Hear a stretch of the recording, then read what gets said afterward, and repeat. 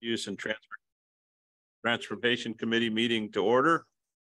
Our first, uh, and as you'll see, we're the council president here, Linda Kochmar, our deputy mayor, Susan Honda.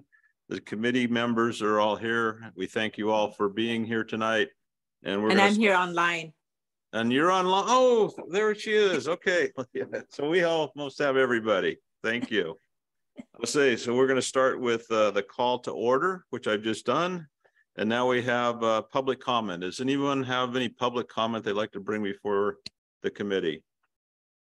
If so, Nothing's been turned. we have a great stand with three minutes to talk.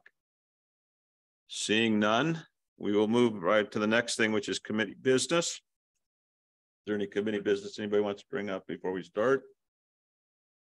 Okay, we'll go to item A, which is approval of the minutes of the January 9th, twenty twenty-three meeting. Do I have a motion or questions? Yes. Ron. Uh, Mr. Chair, I move to approve the minutes of January 9th, twenty twenty-three as is submitted. I'll second. It's been moved and seconded. All in favor, say aye. Aye. Aye. Now we'll move on to item B, Redondo Creek Culvert Replacement eighty-five percent status report and authorization to bid. Mr. Mulkey, Uh, thank you, um, Chair Dovey, um, council and, um, committee members. Uh, my name is John Mulkey. I am a senior civil engineer for the city of Fairway. Going to find my. Back to Zoom. Here.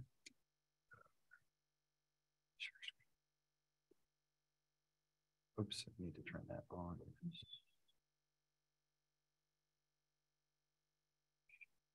Okay, let's see. Uh, from beginning. Okay, here's the Redondo Creek Culvert Replacement eighty-five percent status report and authorization to bid. Um. The project location is on just off of Redondo Way and north of State Route five oh nine, um, behind the apartment buildings. And it's on exist, connects it to an existing right of way where the culvert goes through. Um, the available budget um, with our, we have a one point one five million dollars in swim user fees. Our estimated expenditures are two point two three million, including design, right of way and construction. Um, just to jump onto that quickly, the estimated numbers that we had originally in the project, we have a general, we had a general um, review um, of our culvert applications that were the initial um, budgets that we came up with to fund the projects. In this case, in this instance, when we delve deeper into this project, its proximity to the roadway um, required us, the way that you excavate out typically for a um, culvert replacement is you would dig out wide and then build the culvert underneath of it. In this case, we're not able to do that because you can't excavate that width with the roadway. We'd have to shut down Redondo Creek. So instead, because of it's so deep, we're gonna have to install soldier pile walls on each side of that and then dig down to that to be able to excavate out. So it's basically doubled the price of of the culvert replacement with based on the situation of the depth of the culvert and the proximity to the roadway. So that's basically, we'll be coming back when we have a, to get more, we expect to get more money from swim user fees to make up for that difference. But we're not going to come back and request those funds until we actually have a real defined number after bid. But we have available budget in to, in other swim fees that's unallocated. So the options considered are authorize staff to complete design and advertise Redondo Creek culvert replacement and return to LUTC and council for bid award, further reports and authorization. And two, did not authorize staff to proceed with this project and provide direction to staff. And the mayor recommends option one. And I'm available for questions. I have a question. Yes, sir. We've got over a million dollars that we don't have authorized. So you're saying we're gonna get it, where are we gonna get that money? Cause I can't say move ahead if you can't tell me where we're gonna come up with that money. We just did our budget. There's unallocated surface water maintenance funds that we would be able to draw that money from is what I, So the one point one five is what's in the budget based on the original capital plan that was done in twenty nineteen by our consultant. Um, there's more money in the actual account, um, but the, what John was trying to get to initially was we didn't want to come back with a budget request as part of this right now until we have actual bids. Um, there's money in the overall four oh one CIP. It's just not assigned to this project. So instead of assigning money, finding out we did assign the wrong number when we get the bids and coming back a second time, we're asking to go get the bids and then, you know, the, the council have the chance to approve or not approve the project at that point and allocate money as needed in that account.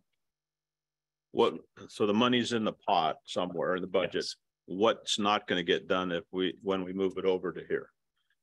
Um, right now it's sitting in unallocated, so it's not tied to a project.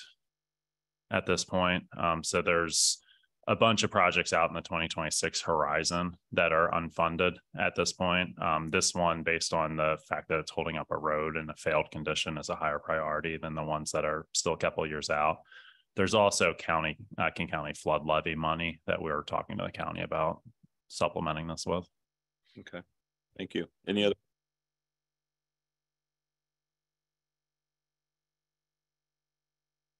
Is there a motion?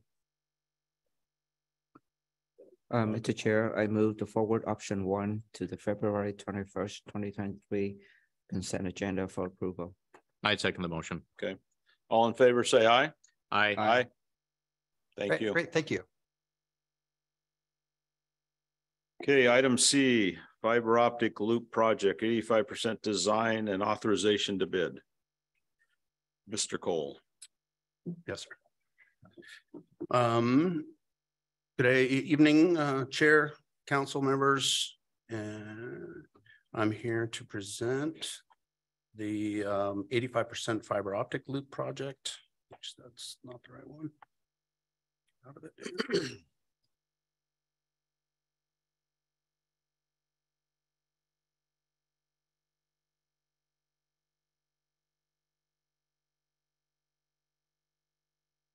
Viewers at home can see. Okay, this is presentation for the eighty-five percent uh, design status and authorization to bid for the fiber optic loop project.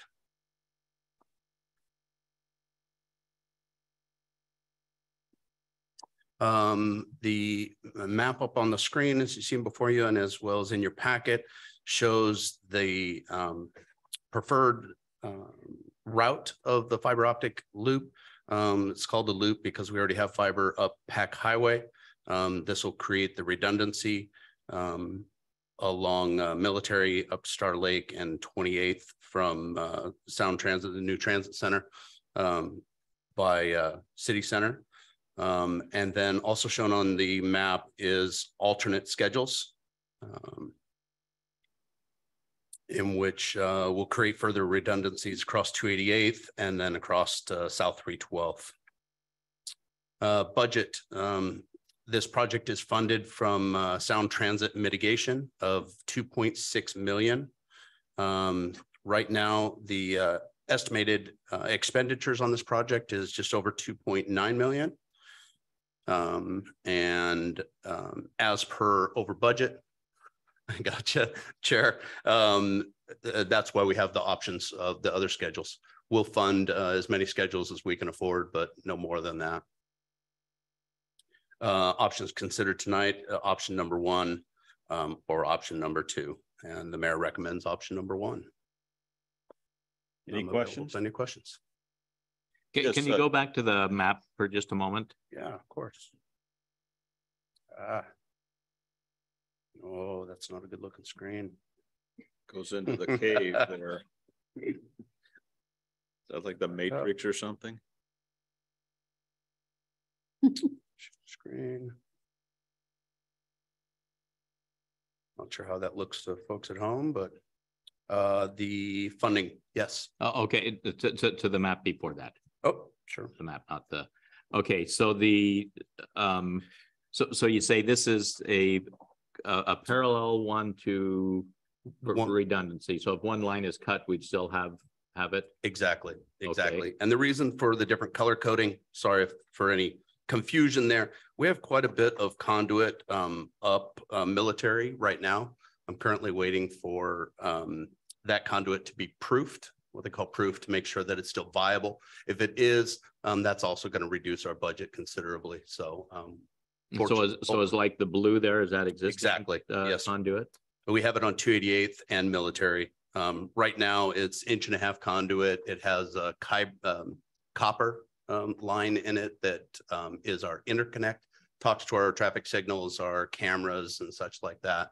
Um, all the uh, all the popular kids are going to fiber, so apparently we need to go to So so it'd be a matter of just running the fiber through that existing conduit. We're gonna pull out the copper and run fiber through the Okay. exact same place. And you say that that may reduce the Uh, the- fingers crossed that that, that conduit has not been compromised by other utility work or such in the area. Uh, sometimes we find that that stuff gets crushed. Uh, it's been in the ground for, I think, twenty plus years, so. Mhm. Um, King County, um, is, uh, proofing that for us right now. King County crew Okay, is, uh, proofing that for viability, so we don't have any surprises down the road. okay. All right, thank you. Yes, sir. And and I guess the question, if, if we don't have the funding for the full amount, what's gonna get cut? Um, the portion, um, our IT department has kind of, um, uh, given me priorities on this. Obviously, the two eighty-eighth military Star Lake up to two seventy-second. Um, over to Pac is the primary route and then schedules BCD um, will be, um, as well as, it's not labeled here, but two eighty-eighth will be the optional routes. And we'll, on three twelfth, we'll kick that that ball down the road as far as we can get it for the dollars that we have. So Okay, So, so, so go, go, go to the, the, the the budget page now. yes, sir. Okay, so what you're saying is that we would only be going to the actual uh, the, the two point six million. Yes, sir. Okay, Yeah. and the others, so if everything were done, the budget is two point nine five six. Um, currently, yeah. And that's, that's assuming worst case scenarios is, uh, I assumed about seventy-five percent of that conduit that's out there right now is not viable. I have no way of knowing, so that's just a number I'm throwing out there. So, Okay, but it'll only be two point six million and we'll just not do the, okay, yes, sir. All right. Thank you. Of course. Deputy Mayor Honda? Thank you. Is there, is there any possibility of getting more funding from Sound Transit? Uh, no, I don't believe so. This was, um, basically, um, the mitigation fees were charged for, um, in lieu of them running fiber from the north end of town, two seventy-second to the transit center. Um, so really, um, we're already trying to stretch a buck, um, on how much further we can make it happen with these further redundancies. Um, but from what I understand, the agreement's been signed and closed. Okay, thank you. Councilmember Pr- Coach for And- President? Sure, I, thank you very much. I'm wondering with fiber optic versus the copper that's already in the ground, I'm assuming the fiber optic is going to handle more traffic. Tremendous amount more, absolutely. Mhm, think, uh, think the old days of dial up to, uh, modern, yeah, Right, computing. so I'm wondering if that's going to be something we would want to advertise to businesses, you know, if they're interested Mm. in coming to some of our, some of these include business areas. Absolutely. And uh, part of the plan also is, um, we're running two four-inch conduits. Um, the areas that we are running new conduits, and that provides opportunities for the city to utilize that spare space in those conduits for other, um, resources. Thank you. I want to make sure that we, um, our, our economic development director includes that in her planning. I see she has her pen. Okay, uh, do I have a motion? Chair, can I clarify one thing? Yes. Um, so this is the system that runs our cameras and the um. Traffic signals and that stuff. It's a private network that just is a circle in the city for operational control. It does not have a connection to the internet. Um, and the fiber that you may get through Comcast or Verizon or some other commercial provider. Um, so there's not, I mean, just to be very clear, there's not a link to the business community as it currently sits. It's, it's for operations of the city. But if, if technology changes. In the future, that might be a we- possibility, we but as have a of, right- back- We have a backbone that's ours that who knows. what could be in correct, the but future. as of right now, there's no interconnection to a, to a public network. Got it. Okay, do I have a motion? Councilmember Walsh, I m- m- move that we send option one to the uh, the consent agenda. is there a second? I'll second that. Okay, it's been moved and seconded. All in favor, say aye. I, Aye. Aye. Thank you very much. And now we're gonna move to uh ordinance E, mobile, mobile food and retail vendor. Code amendment. I guess that's food trucks, right? I think we're gonna do. No, D. What's that? D, D as in David. Oh, excuse me, I already marked that off as yes. Okay, Washington State Reference Network. Um, and you might notice I am not Cole Elliott. Uh, Cole is out of the office unexpectedly today, so I'm covering for him real quick. That's why you're walking over there. I thought maybe you were gonna take a break already. No, not yet. All right, so the Washington State Reference Network Agreement, um, this is uh interlocal agreement between us and the state. Um, so as context, the policy question is, should city council approve the public works director to sign an agreement onto WISRN or Washington State Reference Network?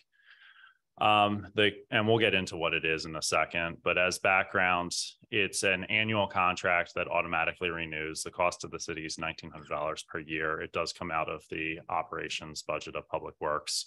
Um, it's something that we routinely use. Um, and what the network is, is, um, if you're, I'm assuming everyone's used Google Maps or GPS on their phone. Um, this is basically a very enhanced version of it. So in addition to using the satellites in the sky that um, your phone uses, it allows the technology that the city uses to use uh, ground-based repeaters as well to have a more accurate location.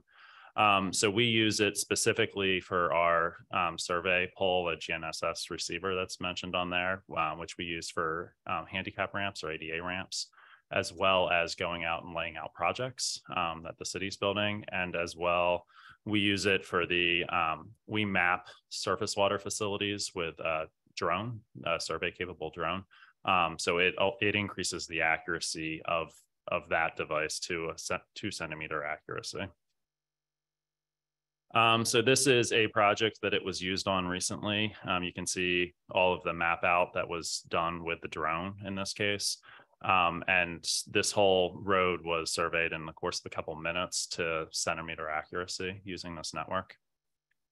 Um, we also use it for uh, emergency response. So this one actually occurred on private property, uh, but you can see the small landslide that occurred here and it allows us to go in and map it um, without putting staff in harm's way. So this is a picture of what um, I was referencing a second ago. So you can see the satellites in your sky, and that is what a phone connects to.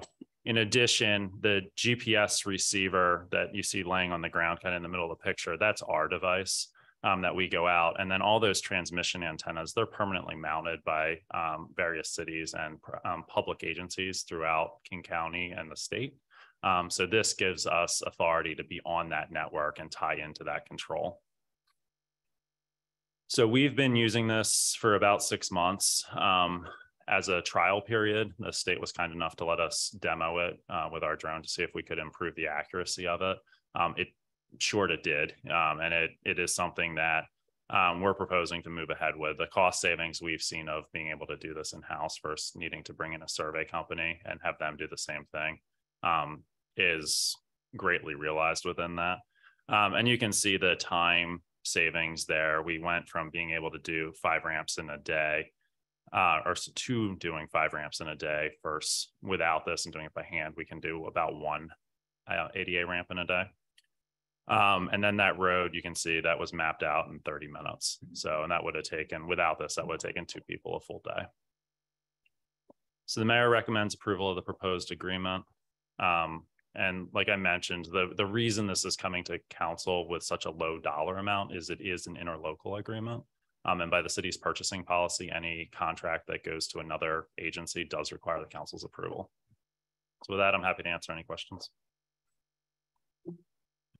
Coun- Councilman, So it looks like we're, we're spending nineteen hundred dollars annually with Correct. something that can save us how much? Uh, any? A lot. Um, Okay. yeah, I, I mean, eight hours for two two staff members. I mean, right there alone, you're talking a couple thousand bucks in a, in one day. So this will be able to positively impact the budget. and, Yeah, absolutely. uh, In a significant way then. Yeah, and it already has. We just, we've been on the trial period, so we Mm-hmm. haven't had to pay nineteen hundred dollars yet, but we're at the point we actually have to pay to keep using the system. All right. is there a motion? Uh, I. Let's see. I moved to, uh, I move approval of the proposed agreement, oh, no, hold on. I move to forward the proposed agreement to February 21, 2023 agenda for approval. Second. Okay, it's been moved and second. All in favor, say aye. Aye. aye. Okay, now we'll go to uh. Item E, right? The ordinance. Mobile food and retail vendor code of. Amendment.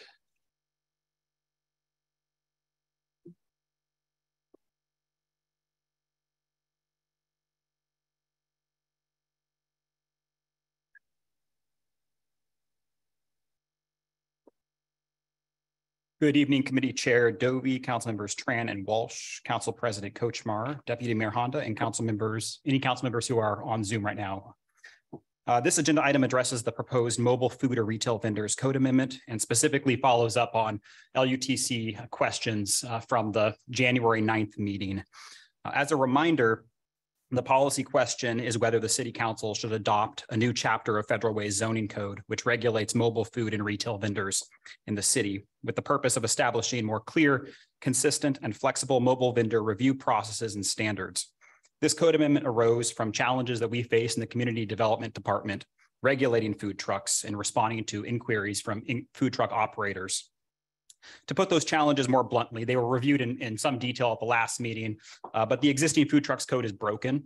And I reviewed the various challenges with our food trucks code at the last meeting, um, and the solutions are provided in the proposed code amendment.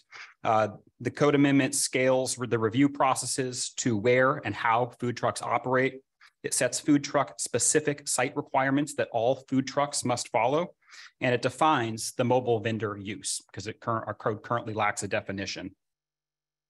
At the January LUTC meeting, council had comments or questions about the various topics here. Um, so I'm going to address each one of these. I think there were a number of questions at that meeting. So these are the ones that weren't fully answered at that meeting and I promise would come back with answers on. So first, uh, there was some concern about mobile vendors in right of ways. So this proposed code amendment changes nothing to the way that right of way food trucks are handled. Um, food trucks and right of ways require a right of way use permit. And to date, uh, at least when I last checked with Public Works last year, there had been no food truck, uh, food truck right of way permits issued. Uh, so uh, there's a process for for right of way permits, um, and those would go through the Public Works Department. Uh, so if there's a desire to change that, that would require a separate uh, code amendment. It's also worth noting there have been zero code complaints or violations uh, documented in our permit system related to food trucks and right of ways. Uh, there is also a general concern raised about food trucks and brick and mortar restaurants being regulated differently.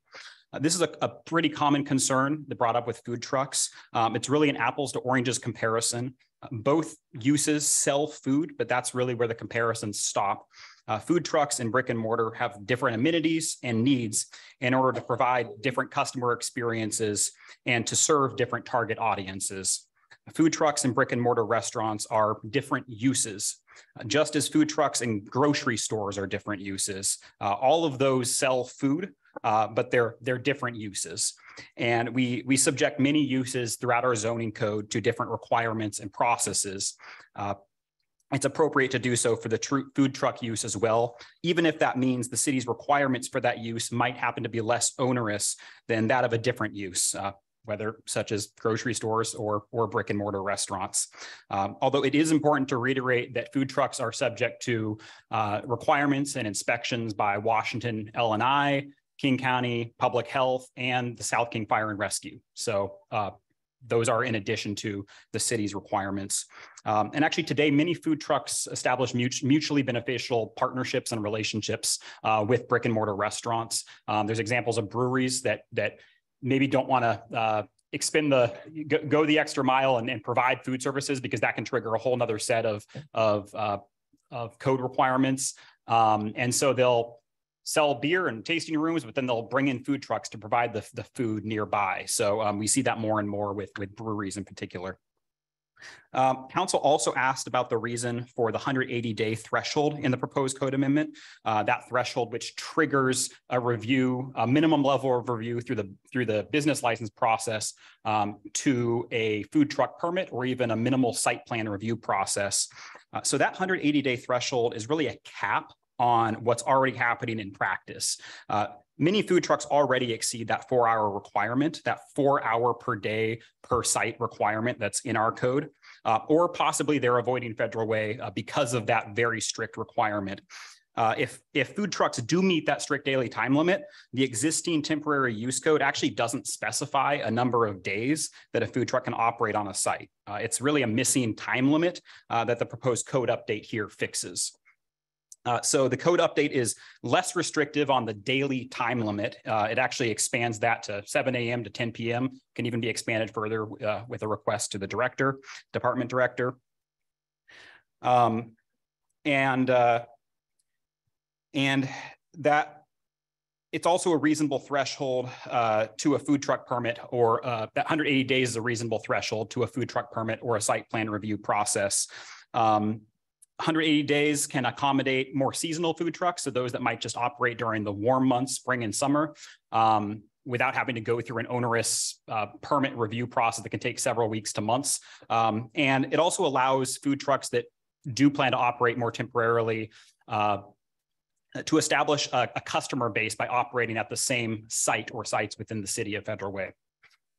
Um, that 180 days is also informed by, by other code uh, timeframes, uh, both in our business registration code and our zoning code. For example, roving mobile vendors uh, in our business registration code um, which is one specific type of, of mobile, mobile food or retail vendor. Uh, those are only subject to a temporary business license up to 90 non-consecutive days, uh, whereas permanent businesses under a permanent business license have still have to renew that business license every year. So somewhere between 90 days and a year we need to find a reasonable threshold uh, to be somewhat consistent with our, our business license code. Uh, another comparison uh, that, that informed the 180 days uh, within our temporary use code right now um, for for sites that are under development where a business may just have a temporary trailer or structure um, to operate out of while the while the site's uh, under redevelopment. Um, that allows such such structures um, to continue up to six months after that redevelopment has been completed. So that's six months, 180 days. Uh, it's setting such uh, timeframes can be more art than science, uh, but we you look at a lot of different data points and kind of land on what's a reasonable number, and that that 180 days is is where we landed in the, the proposal. So. Uh, lastly, uh, council asked how we'll enforce that 180 day rule. And uh, as with current food truck enforcement and most code enforcement, it's it's complaint based. So uh, so uh, as noted, there have been zero documented uh, food truck complaints or violations in our permit system, not just for right of ways, but but anywhere in the city. After checking with code enforcement and the public works department on that that question, so um, that is the update from questions posed at the last LUTC meeting. And the mayor's recommendation is to adopt the proposed ordinance. Council, any questions? Uh, I have no questions, but I think that you've done a very good job. I mean, this is an area that I have a professionally have a pretty good grasp of that I've followed closely for the last number of years. And I, I think that this is a is very well thought out and researched and and I would uh, encourage its approval. Okay, do I have a motion to move ahead? Uh, Mr. Chair, I move to forward the proposed ordinance to the first reading on uh, February twenty-first, twenty twenty-three. I second the motion. Okay, all in favor, say aye. Aye. Aye. Thank you. Can I make a comment? Oh, sorry. Go ahead, Lydia. I didn't see the little hand. Go right ahead. No, thank you. Um, it's just a comment, so it's not going to change your vote. but um, I think this is great because there are some, um, especially ethnic types of foods that either can't afford to start um, brick and mortar type of business, and also it allows for them to introduce their their food to people. And if there's um, a market for it, then they can consider going into a brick and mortar. So I really um, support the idea and I think it'll be very beneficial for Federal Way. So thank you. Great, thank you, Lydia. Yeah, I, I must make one comment. I called a bunch of the letters that people send in about food trucks. So I was able to change my mind after I talked to a few food truck owners. Thank you.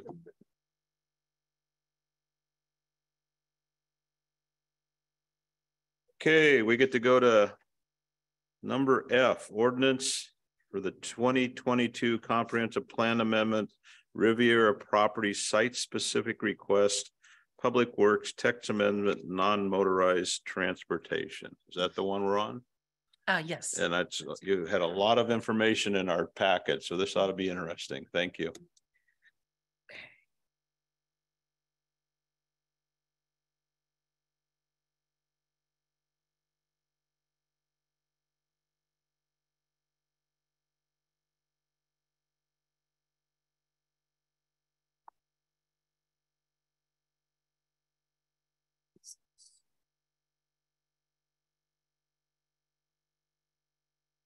Uh, sorry, one. moment.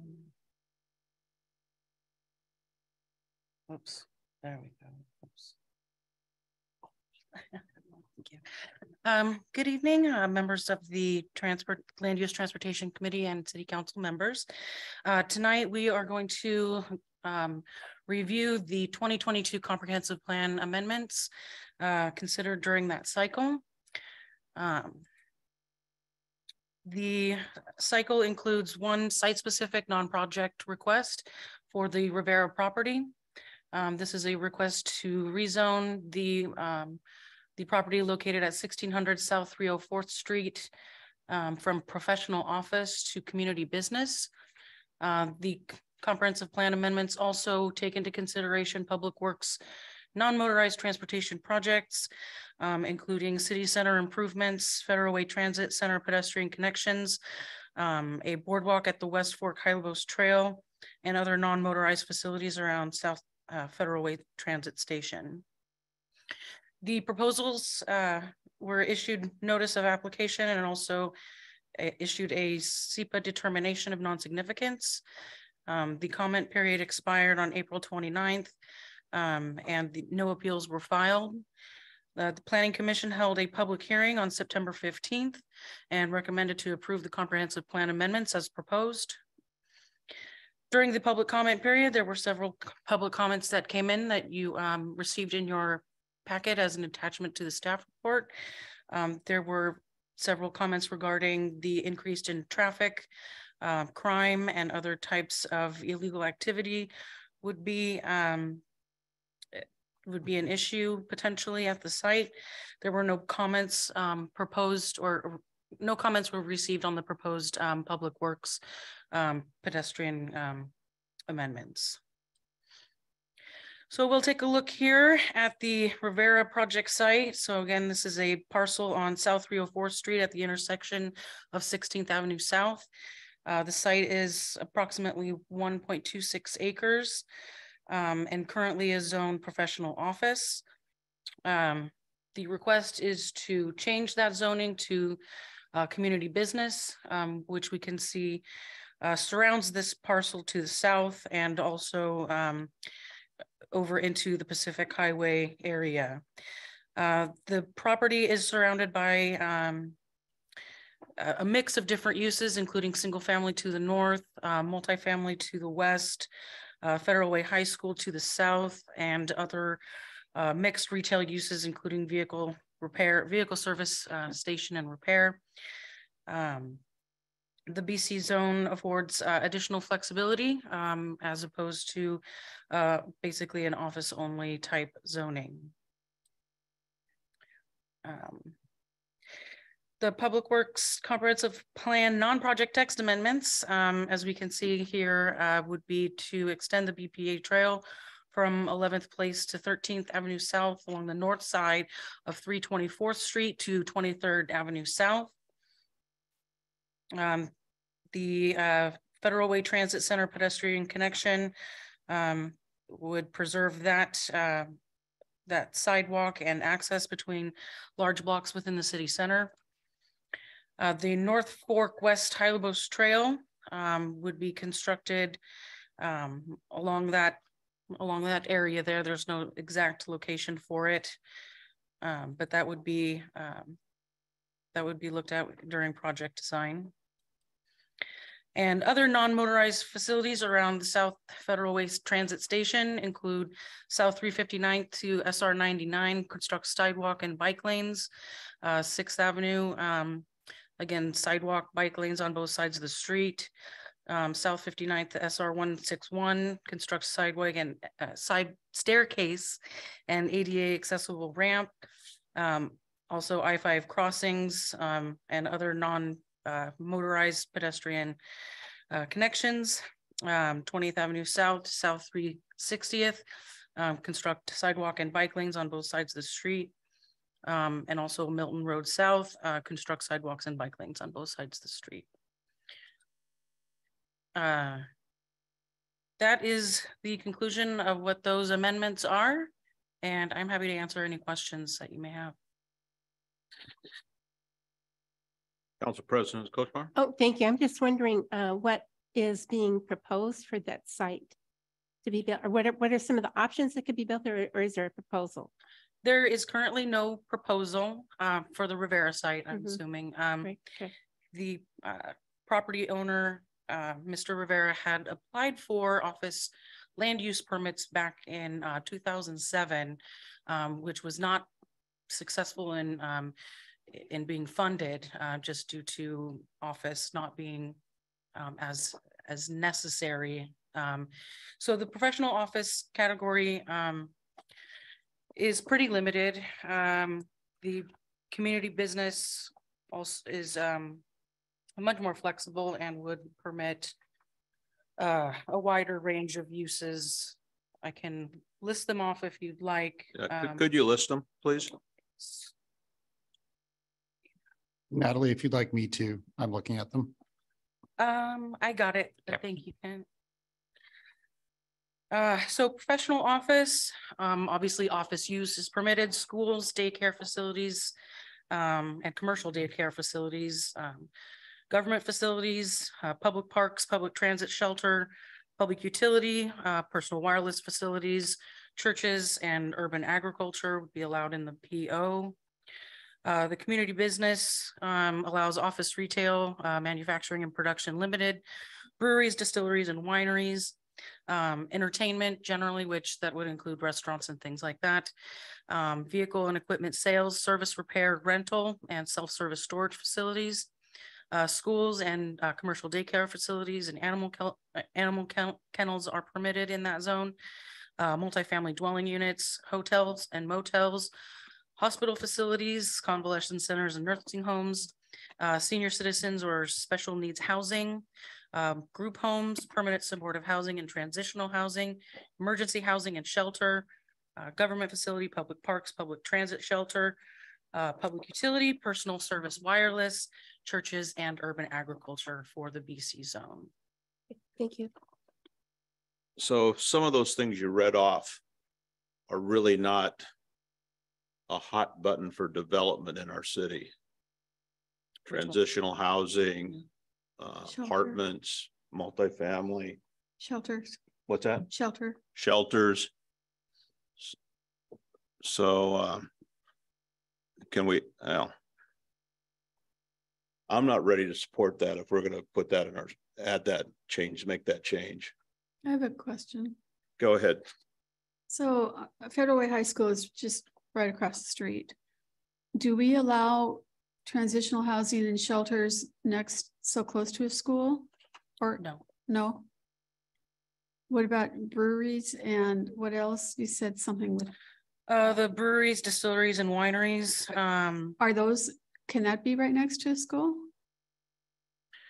I am not sure. There's nothing in our code, but there could be some state licensing where it's not allowed, but I, I do not know. And then they could build multifamily there also, They could, correct? and it could be five stories.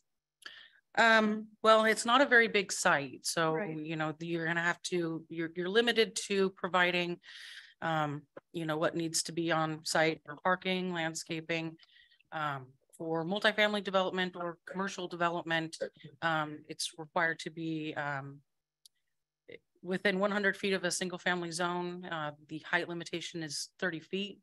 So that would be thirty feet max from within one hundred feet of the north property line where there are, the single family, uh, neighborhood is located. Um, there's the attached dwelling units to the east, um, some fourplexes. Um, so that would not have a specific height limitation and setback to multifamily to multifamily. Um, but you would need to design the site and have all the accommodations for parking, landscaping, open space, and things of that nature, which would, um, dictate how many, you know, how, how developed it would become. And Deputy Mayor, if I could just add a, a brief thing there. Um, there is, it's true that emergency housing and shelter would not be allowed that close to a school, but permanent supportive housing and transitional housing are not required to be, um, distanced from schools. Okay, thank you. Thank you very much. Councilmember Walsh? Yeah, with the permanent supportive housing and transitional housing, you said, they're not, uh, we've all recently done some things in our code that dictates distance between different things on that. How would that impact this site? So there is a requirement that a, any um, permanent supportive housing and transitional housing unit be distanced at least one and a third miles from another property that has such a facility on it. Um, I don't know as to this specific location, whether there are existing facilities around it that would prevent this site being um, being used for that specific use. Um, that's something we probably need to look into unless um, Natalie or Keith, you know the answer to that off the top of your head. I do not know the answer to that off the top of my head, but I don't believe there is any within that area. Uh, I guess another way of saying that is if there is indeed a permitted, permanent supportive housing or transitional housing facility um, with more than two units within one and a third miles of this location, they could not site the use at this location. Yeah. You want Yeah, to follow up? Yeah, And with, then- with, and with then- the, with the veterans, with the veterans, uh, um, no, my mind just slipped, uh, just down the street. now that, Housing, uh, veterans housing. Yeah, uh, what's it called? Wa- uh, uh, The- William. yeah, Woods- yeah, William Wood housing, is that, does that qualify as permanent supportive housing? Because that would be less than a mile and a third. Keith, do you know the answer to that? Um, I'll look to Brian. I think the answer is it is. It is. Yeah. It is. I, I don't know the, the linear distance between that and this site, but it is. Um, Is it a supportive housing though? I don't think it is. That must have been Lydia. Lydia. It is. It's Lydia. I'm sorry. Yeah, you're, you're not on the screen and we didn't see your hand, so you.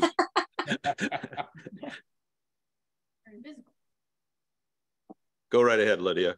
No, I was saying, I don't think um, the veterans housing is per- supportive permanent housing. It's just permanent housing. So does that make a difference then? So the, the definition would be zero to thirty percent AMI, and I don't. I, I am assuming it probably falls in that category, council member, but I don't know that detail. I think it does because um, King County Housing is partner, but supportive permanent housing is different from permanent housing though. That's, that's what I'm saying. That's my point. So I have a, I have a question that that it comes up. The, the, the property we're just talking about, the veterans housing, I believe that's less, that's about one point three acres, isn't it? Does anybody know that? It's a small point. I know, but the reason I, I think that property is not much over an acre and you can see what was put there mm-hmm. in the way of multifamily housing. It, it wouldn't have that hundred foot setback restriction though, like what this, wa- I mean, I don't know. with I this just- one, a hundred foot setback for more than thirty feet, but thirty, uh, uh, thirty feet high. I mean, that pretty much limits what could be. it- it- what, what I'm saying is I don't think it, I think like the William Wood housing would be practical on that site. It might not be Because of that. practical, but if the sizing is right, Mhm. I mean, I sold that property too. I used to own that property Okay, And it used to be a one-story building, and now you see what it is. And it's less than one point three acres. I mean, about the same.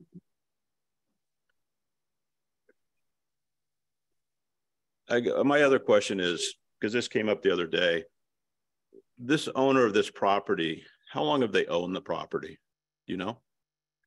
I do not know, but Mr. Rivera mean- is here. I mean, if they own the property knowing what it was, I guess I'm just trying to understand. Sure, Yeah. yeah, the, um, I'm, I'm, So originally, um, he did apply for and received land use approval for an office, but was not able to construct that due to the, you know, lack of, of really that, funding. that, that, yeah, that niche kind of office only.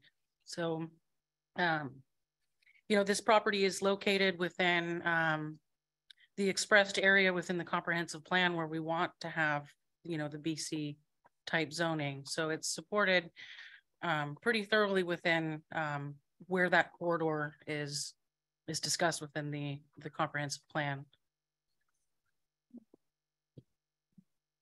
Yeah.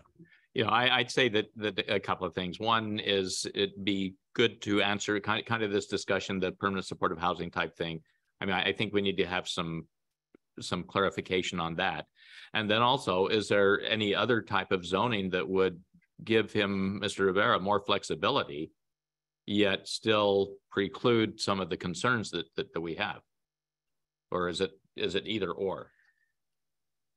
Well, the comprehensive plan encourages the BC zone from in this stretch, so it makes the most sense if you want to diversify what uses could be on that property to zone it BC. Um, the neighborhood business zone is also similar, um, but it's not really called out in the comprehensive plan for it to be located along this stretch, um, of the city. Along those lines, could this land be zoned for uh housing? Sink, make the lot smaller and have uh housing built there instead of uh potentially multifamily? So sing, you're talking single family detached? Oh, yeah, thirty-six hundred feet next door ninety-six hundred behind it. I mean, couldn't it be more contiguous with what's already around there? I guess that, that's a matter of, of- of opinion, I suppose. Um. That's to- Yeah, I get it. It's an opinion. I mean, I'm just asking the question. mhm. Are we bound? I mean, the, the person's asked for BC, I'm assuming, correct? Correct. Um, but it doesn't, it could be something else to make it, a- It could be, but it wouldn't be as consistent with what the comprehensive plan says. or, uh, for or that it could stay where it is. Or it can. Yeah, okay.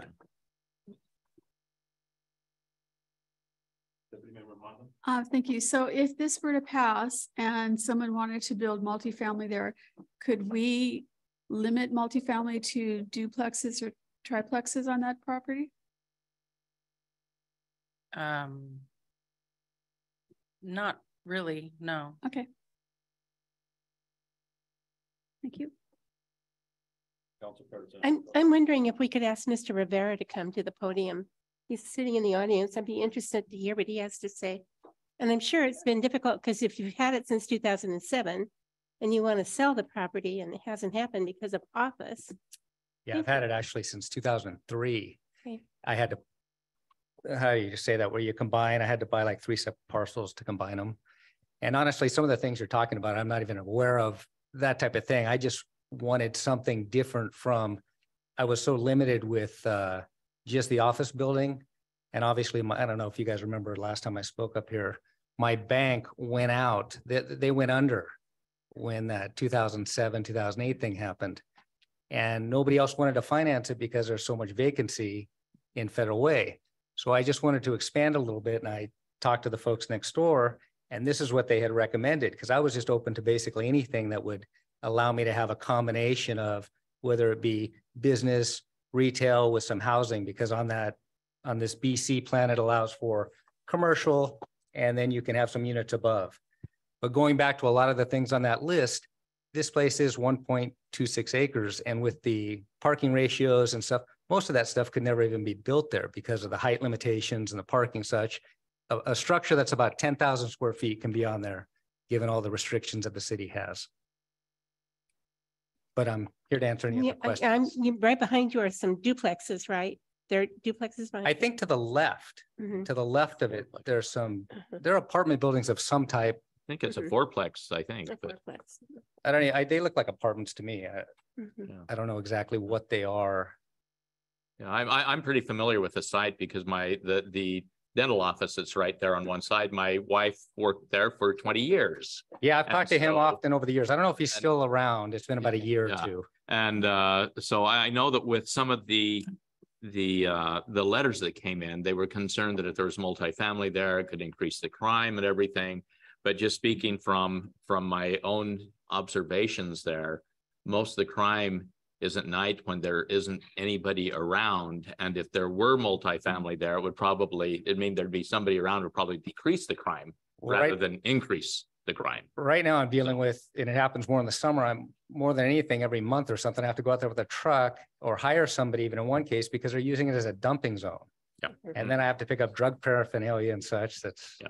being left because it's just an open space.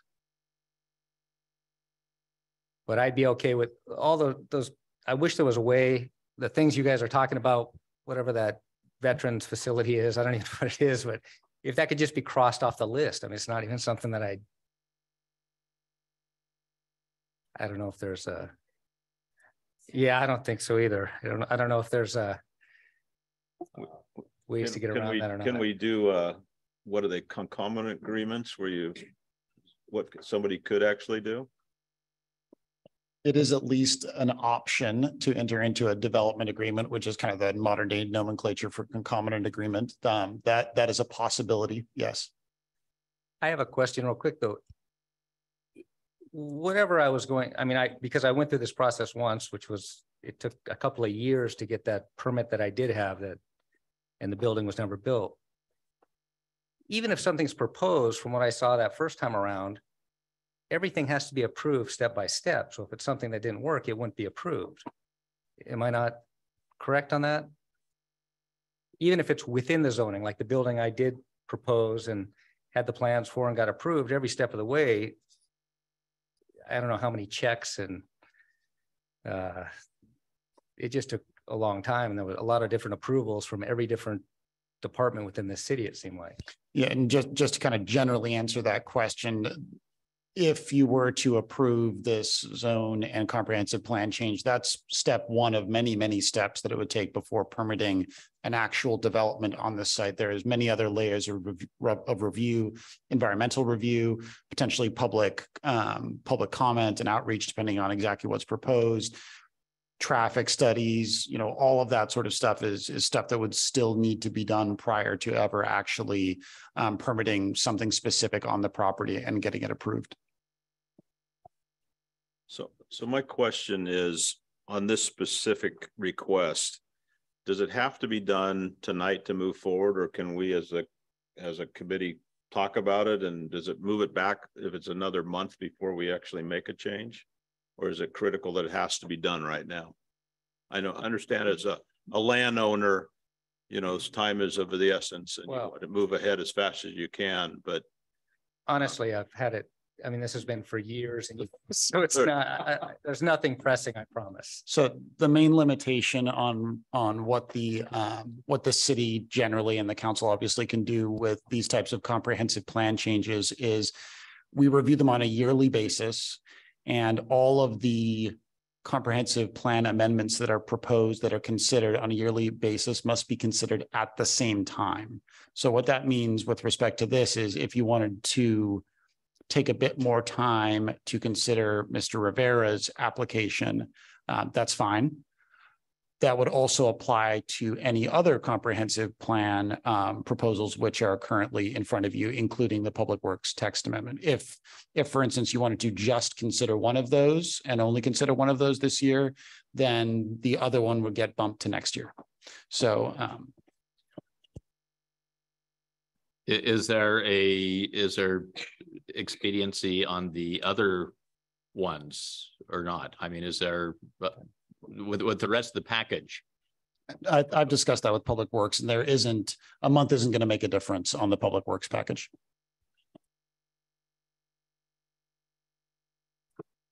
Okay, so I can only speak for myself. Um, I don't want to have our council be considered as something that is anti-development. Uh, you know, we're stuck in our ways. We don't want to do things. But right now we have so many things happening right now in front of us with the Stevenson Motel. We've, we've been having a lot of things happen with the, the treatment centers at the Red Lion and the other hotel that's happened. We've had customers or citizens come to us about multifamily housing and things along those lines. This is if we were going to vote on it today, I couldn't vote on it. Maybe my other two people could to move it forward. But if we talk about it and really see what we're going to be actually getting there, then it makes it to me a lot more sense. If we're not time sensitive, it has to be done tonight. And it could be done in the next 30 days and we actually look at it. Now, I know staff spent tremendous amount of time and a lot of effort and, and, our, and Mr. Rivera has also, but um, I don't know. It just doesn't seem, feel to me as the thing that I would want, or the citizens would want to have done today. Based on all the input we get all the time here. Yeah, it, it, it seems to me as though it would be wise to, to put it off a month, but I think that if we were to do that, we need to have some specific questions for staff to answer so that we're not in the same spot we are right now, a month from now. And I, I think we need to, to figure out what those specific questions are. Well, I think we, many of us would have questions based on the list of what BC is versus office, what it is today. And I don't know if we, there's could be some uh, comments on those or restrictions or along the BC, but If, if I might suggest one thing that we could definitely get an answer on, it's the nature of the William Wood development and whether um, permanent supportive housing and transitional housing would be allowed based on that development and its proximity. that would be a key one to know the answer. Deputy Mayor Honda? Um, thank you. So are you suggesting then that, um, this whole, everything be come back to this committee in a month? And then either make a decision at that point or not Yeah, make a decision? Voted up or down. Yeah. In a month? It- In a month. Okay. It wouldn't go any further than that and the property owner would have a know what's, what they have and we voted up or down and Yeah.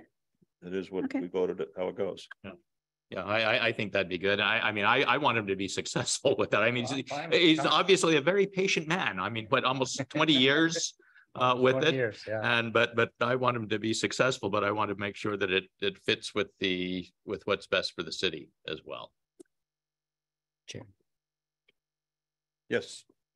Um, thank you, Chair. Well, I see this a little bit different. Um. To me, if the applicant uh. Make application to rezone, uh, you know, his land. And if that is within our comprehensive plan. Um, I mean, I don't see the reason why we should delay our decision. I think some of us um, are worried or fixated on the transitional housing and we, you know, that's why uh, the two gentlemen on my left so worried about um, making the decision tonight.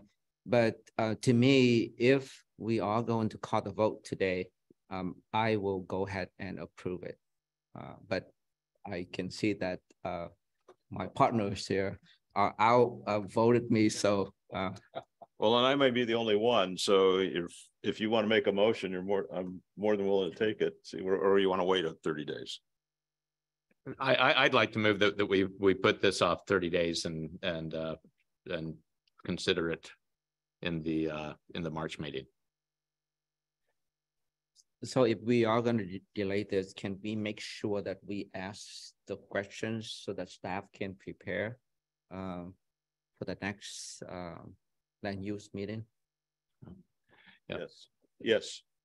Al- al- Also, I, I think it might be wise, I mean, with, with the other, uh, with the other part of the, uh, the comp plan amendment, uh, that make sure that we don't have any questions about any other part of it that should be presented to staff uh, in the next month. As far as I'm concerned, there are no other questions other than just the Rivera property one, but I uh, but no- I, I don't want to get to next month and all of a sudden other questions on, on other parts of it pop up that, that, uh, we're not prepared for.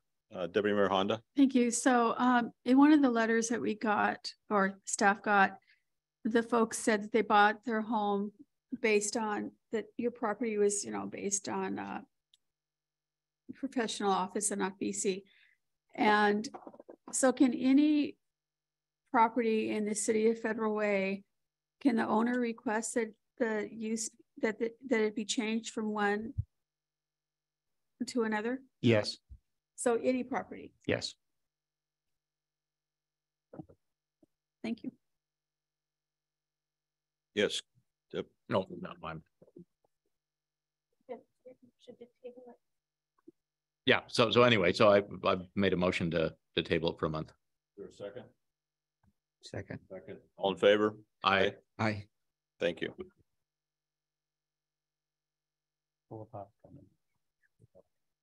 Thank you. Item G is iconic sign code amendment.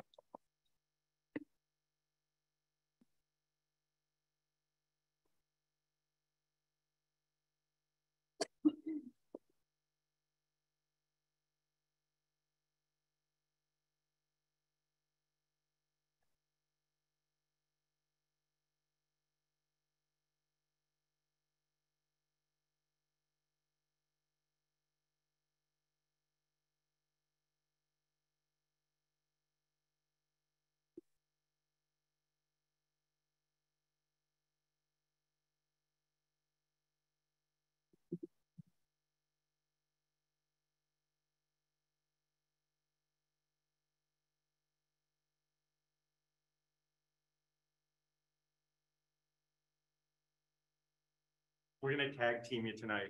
A little bit of extra firepower to get this through. Hi, good evening, Chair Dovey and LUTC Committee, uh, Council President Kochmar, Deputy Mayor Honda, and any of the council members that might be on Zoom tonight. Um, it's my first time presenting to you, so I hope you'll forgive me. I have a few notes to make sure that I don't mess up. Um, when the committee considers this ordinance, I thought I'd offer a brief economic development perspective and share a few thoughts about the iconic sign ordinance as it relates to the practice of economic development. When we look at economic development, there are two main practice areas. There's business retention and expansion and business attraction. So as an economic development practitioner, there are many factors to consider and present when we help attract, retain, and grow businesses in Federal Way. And conversely, those same businesses we approach are researching the tangibles and intangibles of the business climate in Federal Way. So to that end, there are several intangible elements that the iconic sign ordinance highlights for the city. First, it honors the historical significance of the iconic businesses. And second, it demonstrates that Federal Way embraces the same can-do spirit, innovation, and entrepreneurial spirit of iconic businesses, while highlighting the fact that many have historically helped form the social and business fabric of communities over the decades. So on the point of historical significance, the type of businesses most typically that fall under the iconic sign ordinance could be said to be family owned over multiple generations, be businesses that have com competently weathered the ups and downs of the economy, as well as the changing trends and tastes, and even a global pandemic, which affected small businesses the most greatly. Regarding innovation, can-do attitude, and the social fabric of the community, economic development and city growth are founded and grounded on what types of businesses are here and come here and what environment they create. Federal has a history of can-do attitude and innovation and can continue to be a lighthouse for this type of generationally owned, strongly rooted company, which in turn begets the attraction of more similar companies in future by allowing these businesses with historical roots and unique Pacific Northwest personalities to be found in Federal Way. Lastly, mostly most iconic businesses grew and have become iconic in part due to uh, how they have invested and reinvested in social activities, events, and the well-being of communities that they are in. From participating in food drives to school programs to sponsoring sports teams, these types of businesses have endeared themselves to the community by helping form the fabric that has built cities in the Pacific Northwest over the past decades and hopefully will continue to do so. Thanks for your time.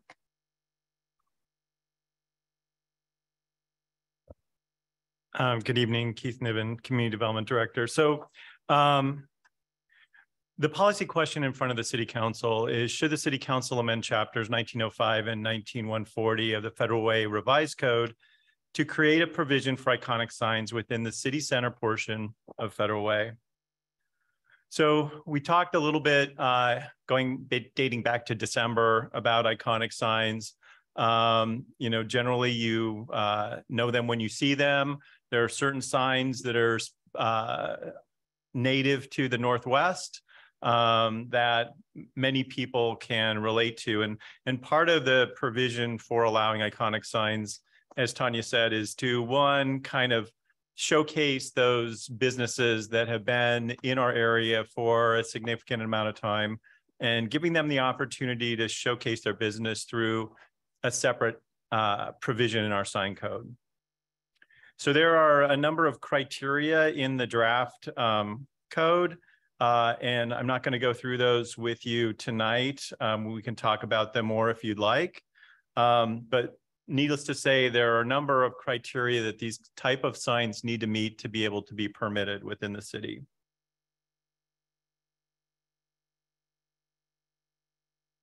Um, so we talked about this both at uh, Land Use and Transportation in December, and then we talked about it again at Full Council uh, in January. And the things that I've heard um, as part of those conversations with the council, the first one is right now the proposed ordinance uh, would make it a department director decision. Uh, an, an option would be to allow it to go to the city's hearing examiner. Um, staff's perspective on this is all this would do would be to increase the permitting time, which seems to be a disincentive for somebody actually going through this process.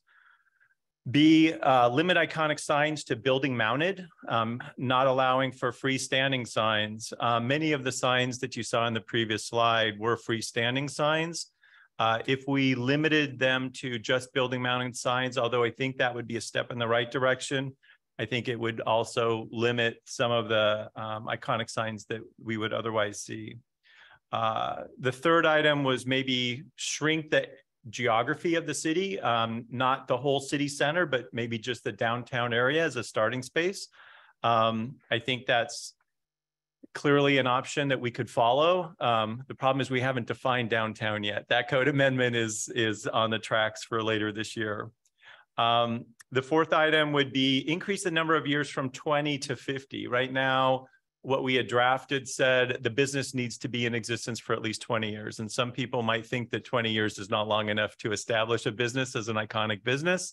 Um, and maybe that that duration could be expanded to 50 years. And staff would be supportive of that. That's a completely discretionary measure uh, for the city to pick uh, the number of years.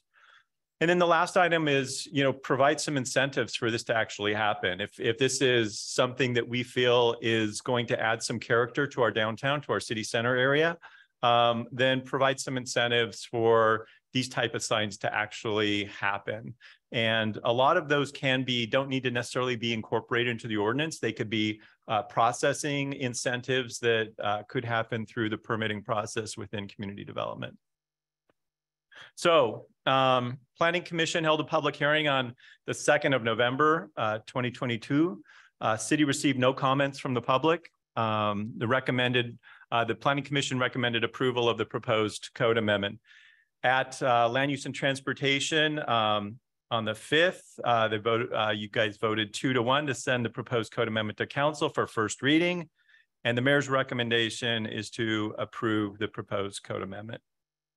So with that, uh, any questions for me or Tanya? Did she leave? Oh, there you are. Um,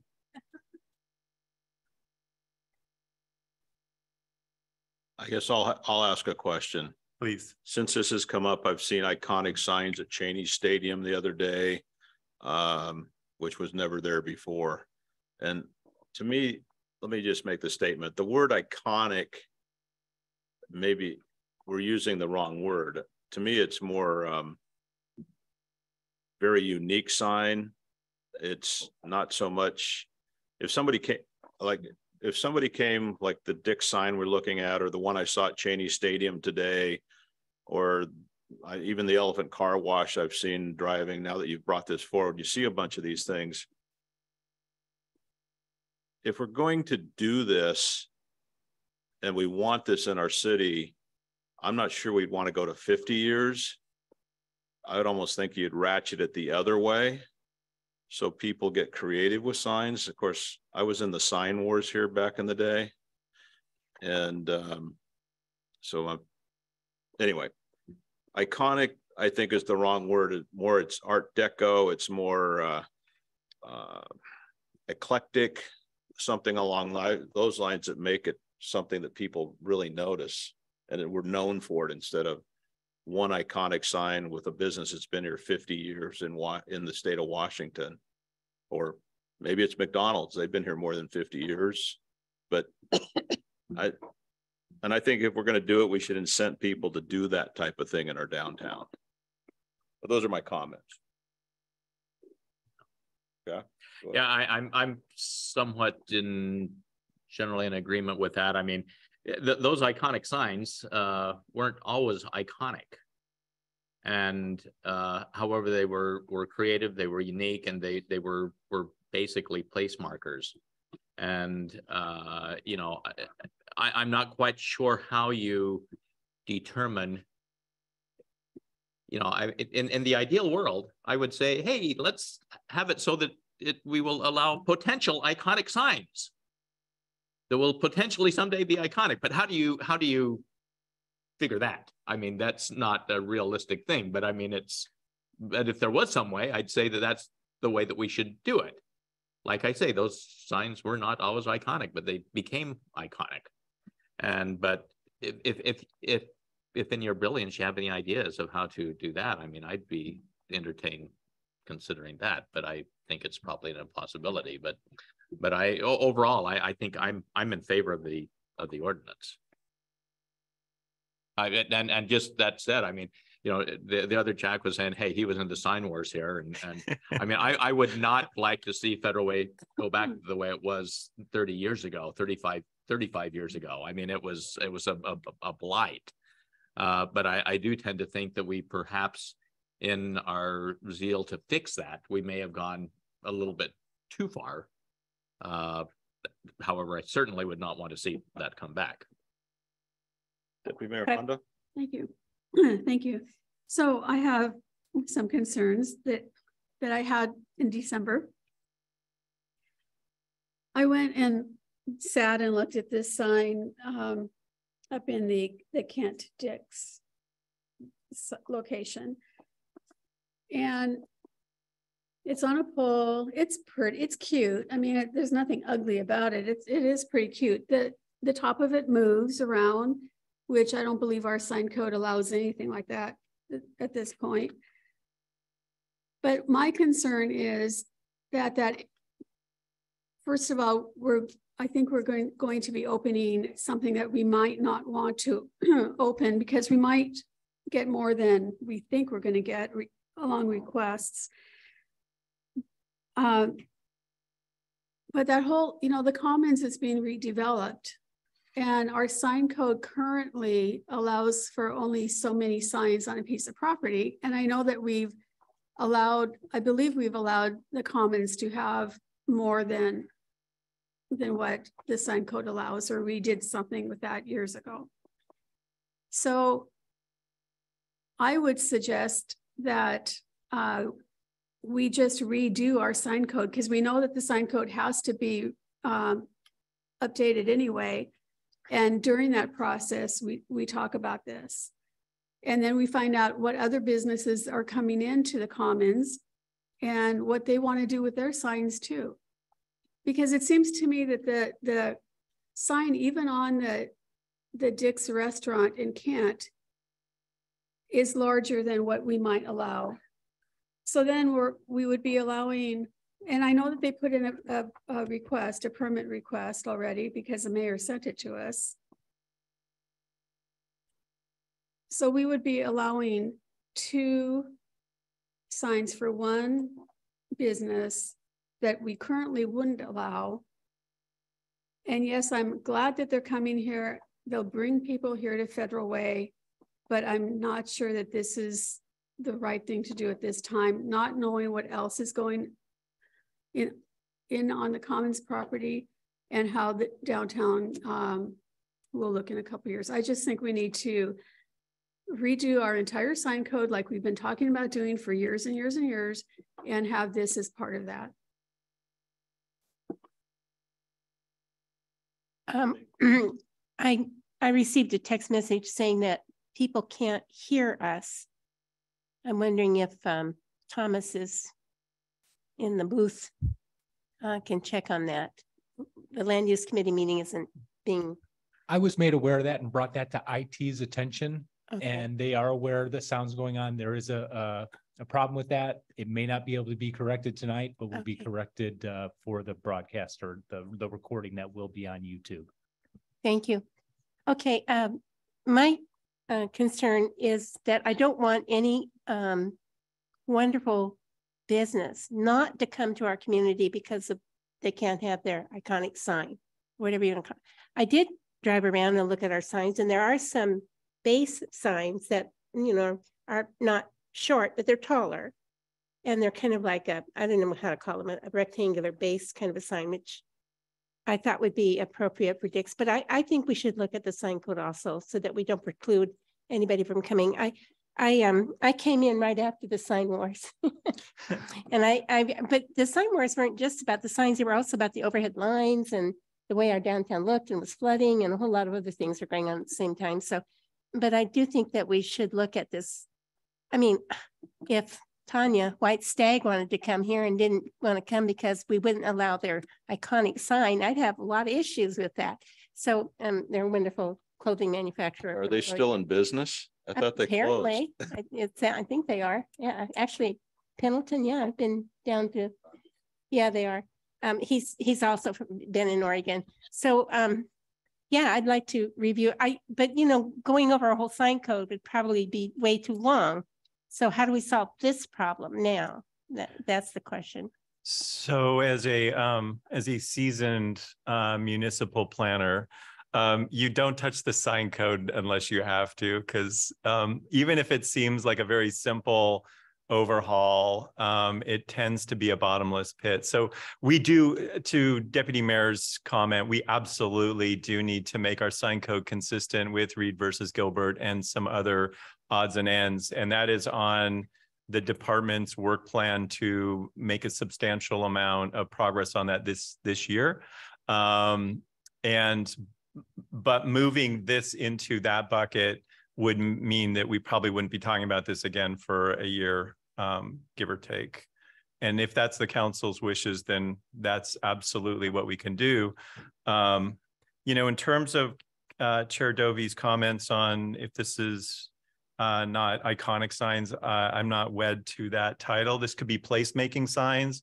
This could be character signs. I think we could uh, name this um, whatever makes the most sense for the community.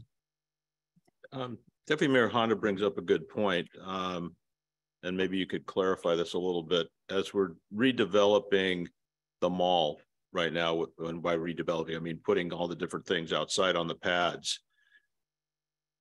Is there a way to look at that? And we're talking about downtown, how you could make adjustments, you know, for that area for art deco signs or iconic signs or because I, if we're gonna do this, I, I would think we want to encourage people to have the look. And I'm just, you know, we're, instead of having one at a restaurant that's coming in very late in the game versus all the other people that invested, is there a way to kind of put it all together? Um, absolutely. I mean, I think so. What the, what the Commons has is, um, the sign code allows for basically shopping centers to have like some common monument signs, uh, where there are multiple tenants listed on those signs. And then there's individual businesses have sign provisions as well. This will allow a- another layer to that, to where, you know, if one of those existing pad um, businesses want to come, wants to come in, if they meet the criteria, and we got to maybe um, dial that down a little bit, then they could replace what they have now with something that is, that would fit this character building or placemaking sign package. So that's, so, so existing businesses could benefit um, as long as they met the criteria for what it would take to get that, that sign permitted. They are typically, um, and, and one of the things, so to just be clear, um, Dick's has not submitted for their sign package yet. What the mayor sent around was what they're hoping to get permitted. Um, that uh, the pole sign that they have or that they would want to put in, you know, just to give you an example of scale, um, what they would want to put in is 25 feet tall. What the sign code allows today is 12. So there's there's a significant difference between what that business would like to see and what's currently allowed um, by the sign code. Is the sign, um, what they, is what Dick's wants to do here in Federal Way, what they done in Kent? Is it the same? They would like the same, and our sign code doesn't allow actually either one of those as is the one above the canopy or the pole, basically the pole sign. Neither one would be allowed by our current code. So I don't think anyone's gonna have a problem finding them. I mean, they're gonna be pretty obvious where they're at. Um, but I am, I am concerned about the rest of the development there at the Commons and how we're gonna handle that with signing. I, you know, there's, it, it's more than one business going in there. There's a lot going in there. And I, I would just think we, we owe it to the other businesses too, to have a discussion about everything that's being done over there. Yeah, I mean, it almost seems to me as though, though we should go ahead and, and, and move this forward now. And then, uh, also ask the, ask staff to work on a further revision that can come to us next year. And if, uh, and if what we're doing now is tweak some with that further complete revision of the sign code, then, then it could be tweaked later on. I'll, I'll make a comment to that. If, if you do one and then say we're gonna come back later to do the others. I'm not sure that that's equally giving everybody the same opportunity. So if we're gonna make it so somebody could go to these like iconic signs, different types of signs. You almost should do it for that whole piece of parcel at the same time, give them the option. And then come back and relook at the whole sign code for the whole downtown. I mean, I, I, actually think that having eclectic signs, art deco signs, iconic signs in our downtown core might be a tourist attraction. You know, but if you just do one, it's not the right way to do it. I- You almost need to do it for all or none. Yeah, Uh, thanks, Chair Dovey. Just a comment, um, that the ordinance before you was, was crafted in mind with, with not just one business. It was many, you, you know, trying to open the door for many businesses or to, to, to take advantage of, or at least those that would qualify under the time period. Um, I would also say as a recovering municipal planner, that I totally agree with what Keith said about the, the sign ordinance and how, um, difficult it is to deal with. And so if we can take a, a chunk of it now, knowing that we're going to have to do more in the future, that, that gives us a head start at least on, on the big project that it will be. but can you chunk it with just not one business, but Well, that's, that's what I'm saying is Yeah. what, what we have proposed before you is with many businesses in mind. It's not just one business. It's, it's to, uh, to Tanya's point is to create a placemaking vision for the downtown area. Yeah, but what's proposed isn't just for, for, um, for Dick's, it's for downtown. Yes, this is not a single business ordinance. we should take dicks out of our hat, out of our head and talk about signs in the general area. So I have another question. So I, you and I have talked about this before, but murals on buildings in downtown or anywhere, uh, even on water towers, which the Lakehaven actually told me last week that they are, they are open to that. They're open to having things painted on their water towers, which I haven't heard before from them. So I'm like, I like that, but um, our sign code does not allow for murals to be painted on buildings at this point. Is that correct?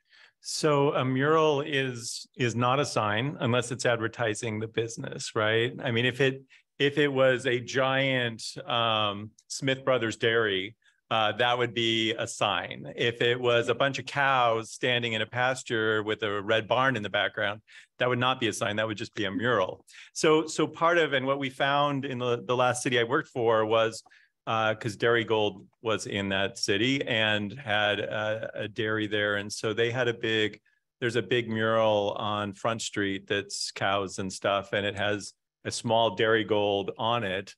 Um, and so if it, you know, so we had to do an interpretation that a certain percentage of the mural uh, could be representing the business. Um, and then it would be considered not a sign. So if it was below a certain threshold, it could be there, but would then not be actually a, a sign to be permitted. It would just be art. And so I think we would, if we want to explore that a little bit further, um, that's a nuance that our sign code does not have. Um, but that would be something I think we could talk about if we were, say, wanting to um, encourage businesses to have murals on uh, the blank walls of their businesses. That's actually a good thing. Okay, thank you. Uh, I, I would just like to also say that the water tank to the south of the mall, you probably never see it because it's like something you see every day. And after a while, you never see it anymore, but it does have a mural on it. It is painted uh, a light blue and then has like little waves or clouds or something through it, but it looked better than it did as a gray tank. Yeah. With, with those clouds in it, it just blended in, so you can see it there, you know. Yeah. So is there a motion by Chair- anyone? Chair Dovey, Excuse me, it's me, Tanya. Anya, oh, over there, the blue sign. Go I ahead. just wanted to make um one comment just to follow up on on uh Council President Kochmar and also um Chair Dovey, your comments.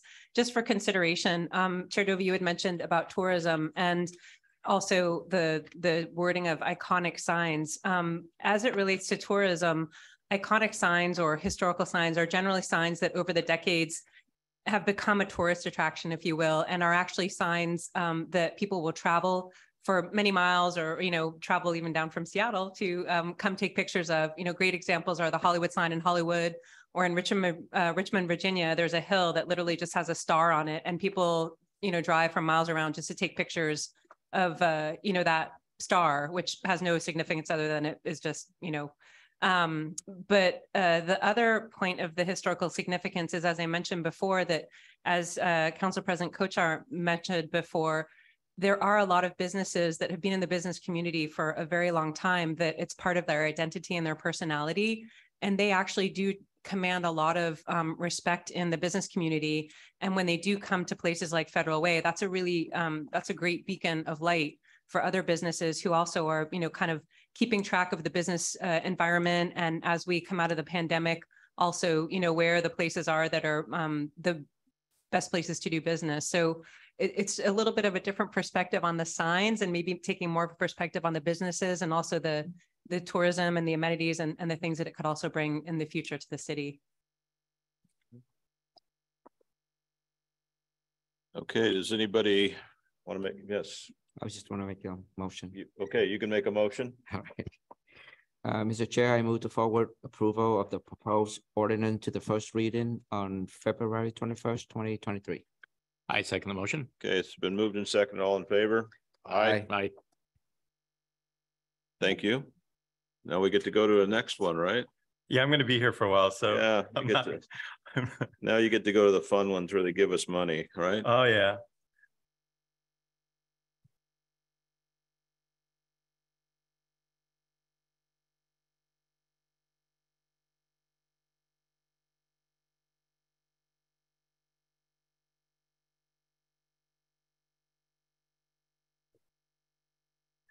Uh, good evening, committee members and council members again. Um, still Keith Niven.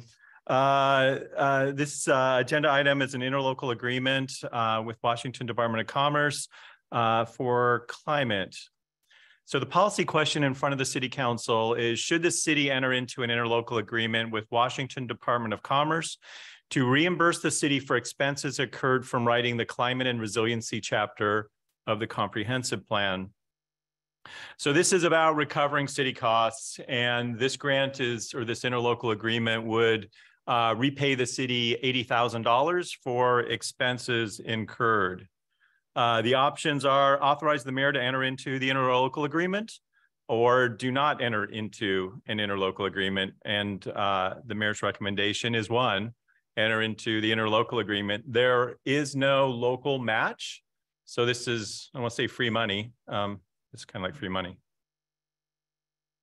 Okay, any questions or a motion? I move that, let me find it here.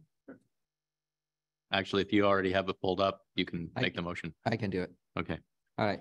Um, I move approval of the interagency agreement and authorize, oh, sorry, wrong line. I move to forward the proposed interagency agreement to the February twenty-first, twenty twenty-three consent agenda for approval. I second the motion. All in favor? Aye. Aye. Okay, we'll move on to item I, interlocal agreement with Washington Commerce Periodic Comprehensive Plan Update.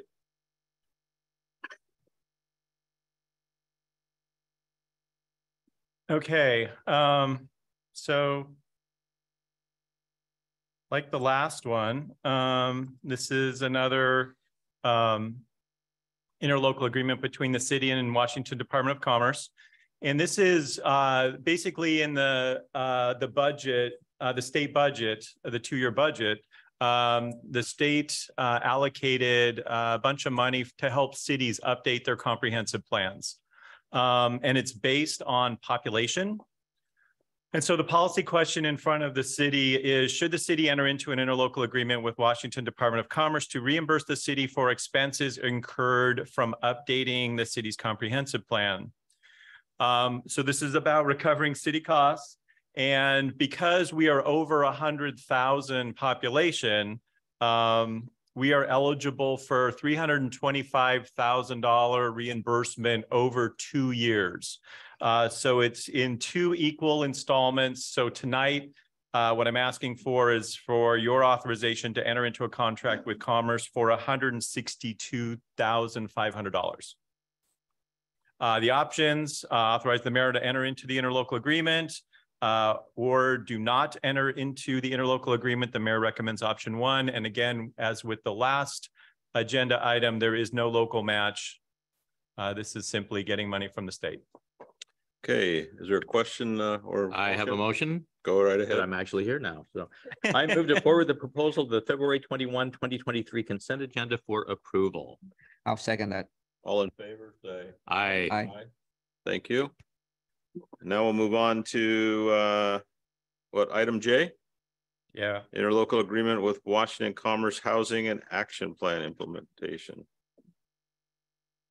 Is this money or is this one scary? Nope, this is money. So all good three things come in threes. Um. So this is my third. Okay, interlocal agreement, housing action plan implementation. Uh, policy question in front of the city is should the city enter into an interlocal agreement with Washington Department of Commerce to reimburse the city for expenses incurred from implementing the city's housing action plan? Again, we're recovering city costs up to hundred thousand dollars. There is no local match. Um, options are authorize the mayor to enter into an interlocal agreement or do not enter into an interlocal agreement. The mayor's recommendation is option one, to enter into the interlocal agreement. Any questions? I, I guess I do have one question. I mean, I was on such a roll. yeah, you're all set to roll, but we've just approved two of these. We're doing the third one.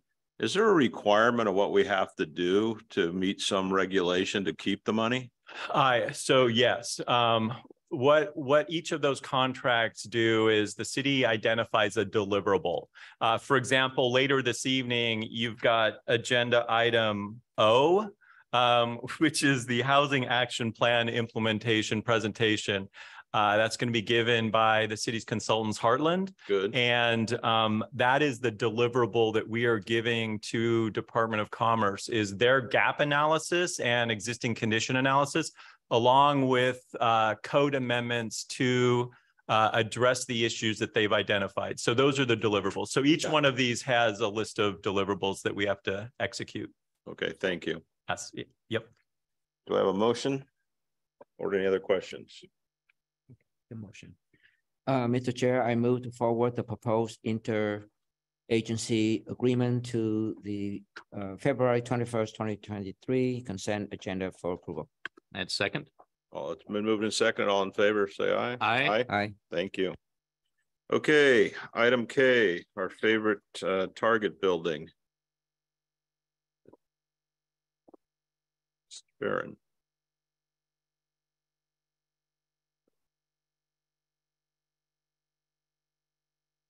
You guys have heard of the Target building, huh? well, that's what it says there, former target building demolition demolition bid award. And I think it should have a big target on it. Yeah, you gonna have some cake? Is that part of the bid? You know, we get uh, to, I spent a lot of money in that building. I know, but we have a new building now, right? Hopefully not that building. All right, let's go to share the screen again. What was that?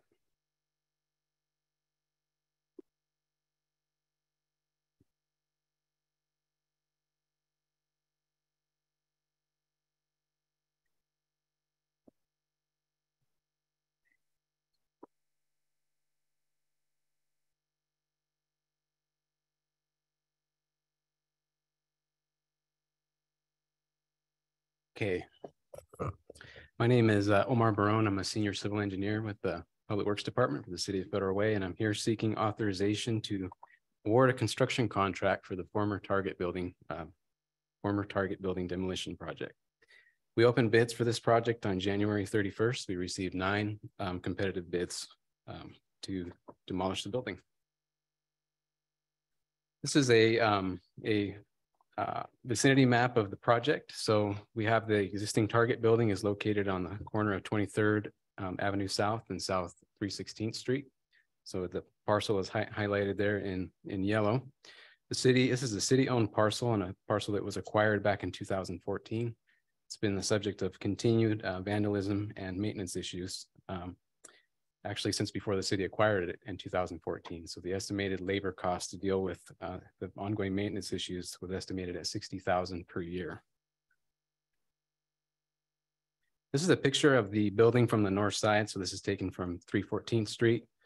Um, so what we're, what we're proposing to do is just um, take down the building, completely take, take down the walls, uh, remove the foundation, have all of that hauled off site. Uh, as part of the work, the contractor is going to put up a temporary construction fence just to secure, secure the site while the work is being done. And then the foundation will be backfilled. And then we're basically, the area that you see with the foundation and the building footprint now will be topped with um, crushed rock. So that's going to solve a lot, a lot of the maintenance uh, headaches that we've had there. The building's existing building footprint is hundred and five thousand square feet or approximately two point four acres. So it's a pretty good sized building. This is our project budget. So our available funds are identified there as ARPA funds, 585,000. Our low bid is 373,789 and 50 cents. That's actually lower than the engineer's estimate. Uh, the engineer's estimate that we had put together for this project was 478,000. Um, our, um, low bidder is, uh, Swafford, um, excavating, so they just have low, low overhead and operating costs, so they're able to really, um, deliver this work at a, at a nice price for us. The options that are considered before the council tonight are award the former target building demolition to the lowest responsive responsible bidder, Swafford Excavating LLC, in the amount of three hundred seventy-three thousand, seven hundred eighty-nine and fifty cents, together with a fifteen percent contingency of fifty-six thousand, sixty-eight and forty-three cents for a total amount of four hundred and twenty-nine thousand, eight hundred and fifty-seven and ninety-three cents. And also authorize the mayor to execute the contract. Option two is reject all bids. It directs staff to rebid the project and return to the committee for further action. The mayor recommends option one. Any questions or? uh, proposal? I'd Yeah, go like ahead. to make a motion. I move to Oh, I- for, oh, you have a question first? Deputy Mayor Honda? I didn't look Sorry. that way. I apologize. Uh, uh, when we were talking about this earlier with the ARPA money, I think we had more money in there that we proposed? Yeah, so it's proposed that it's budgeted with, at, with ARPA at five eighty-five. So it's, yes, there's some extra money in there. So that money then that we don't spend on this will, we could use for something else. It'll roll back into the ARPA pot once this project is complete, yes, and then Okay. council will have to reallocate it with whatever you want to Good. reallocate it to. Okay, awesome. Thank you. Okay. Right, I move to forward question. option one to the February 21, 2023 consent agenda for approval. Second. It's been moved and seconded. All in favor? I, Aye. Okay. Thank you. Oh, they're gonna start. Yeah. uh, but do- do they have a time frame on, on it? Since- I think it's soon. Yeah, so as far as the time frame, so we're looking to uh get this authorized. It would be uh moving to the next council meeting. And then um so we will award the contract and then it's gonna take approximately about two months to get the different approvals and you know, as far as the demolition permit um in hand and approved to be able to start the work. And then we have another two months that we're allowing them to complete the work. So we're looking at just summertime construction and and Right, super. August completion. Okay, we're now moving to item L, park impact fees, information only.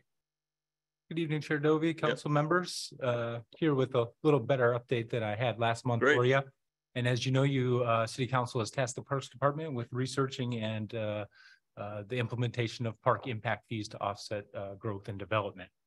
And so we have gone through a couple scenarios with, uh, the consultant and, uh, some of them had out, uh, outdated data. And so we've kind of thrown those out and I can kind of share with you what we've done and kind of the current scenario we're, we're honing in on. Um, still more work to be done on it, but, um, uh, we used the, the council approved updated twenty forty-four growth numbers.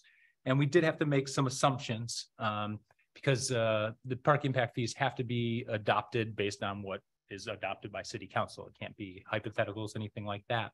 And so, uh, two assumptions we made in the scenario we're looking at right now is that, um, there'll be two projects that need to be adopted and, um, one would be kind of in the downtown area, um, adjacent to Town Square Park or an expansion of Town Share, Town Square Park.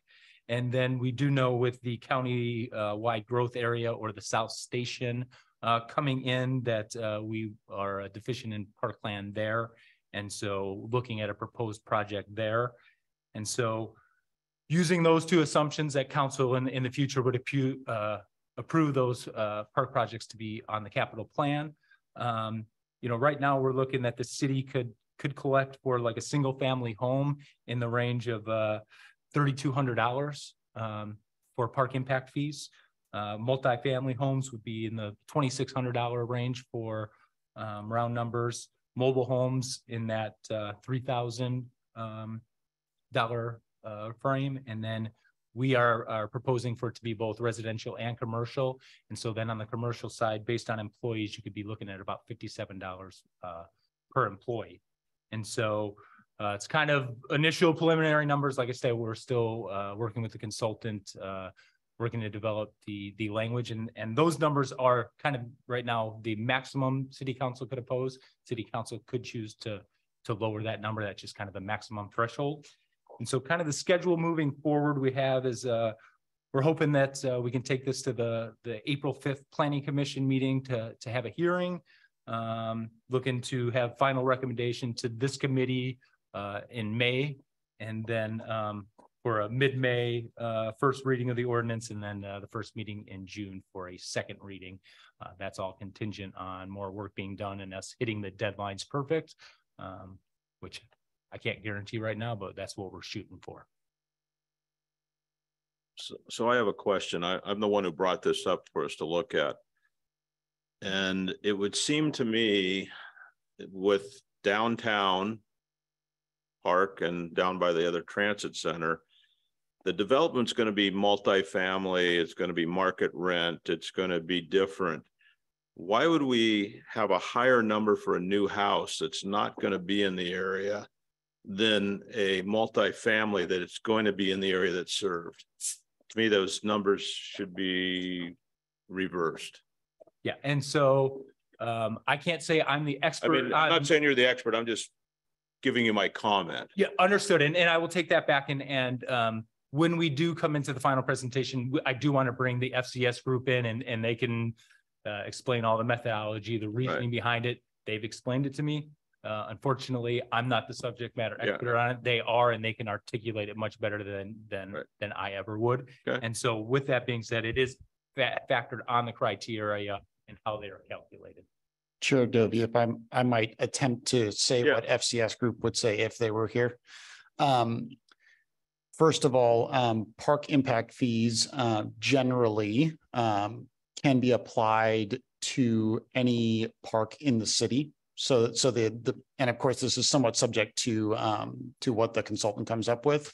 But just because there's a single family residence, say in the west side of the city that gets permitted, um, we're still able to apply those fees to say, a or likely able to apply those fees to a development of a park in the city center, because the idea being, regardless of where you are in the city, you, you still could or would use parks throughout the city, just like, you know, um, we might go all the way west to Dash Point. Dash Point's a bad example because it's not a city park, but um, even if you live on the east side of the city, you might still utilize a park far on the west side of the city.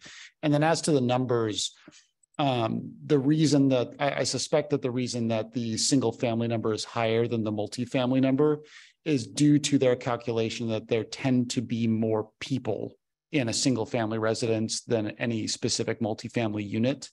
And because there are more people on average, say, you know, three people on average in a single family home as opposed to two point five in a multifamily unit, um, the amount of the impact from three people utilizing parks is slightly higher than that of two point five people using. And, and I would argue the other side, that a house that has four people has more than a single, a, a multifamily, let's say, or six, whatever.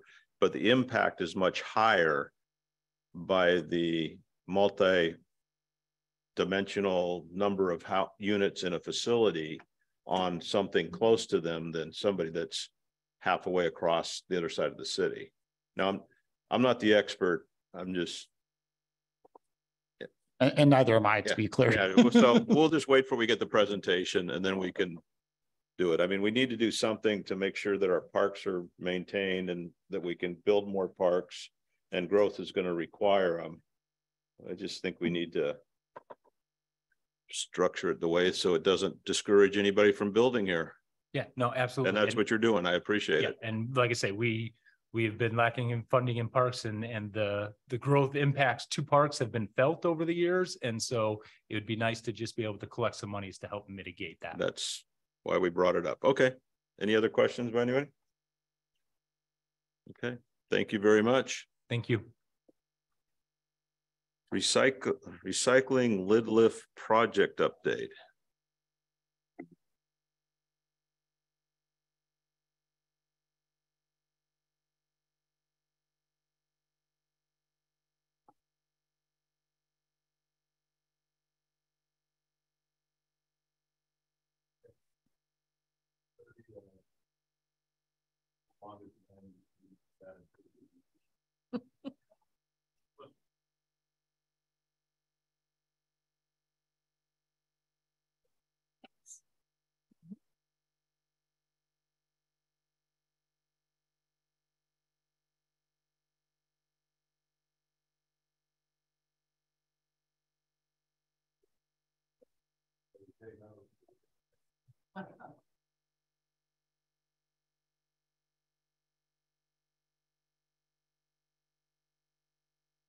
Okay, we're ready. I'm ready to say out.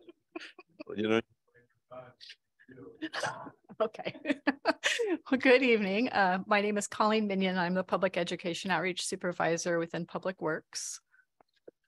And I'm Reese Hobday, Public Education Outreach Technician in Public Works.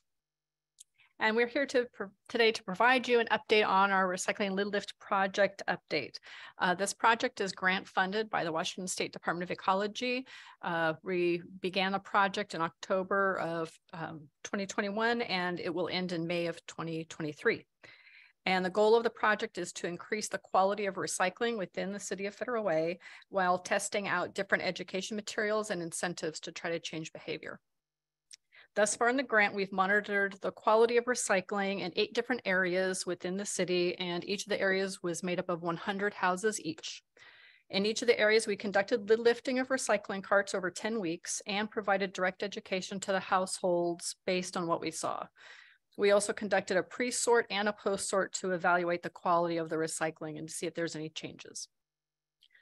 Before the project began, we sent a letter to each household in the targeted areas and informed them of the project, its purpose, and what to expect.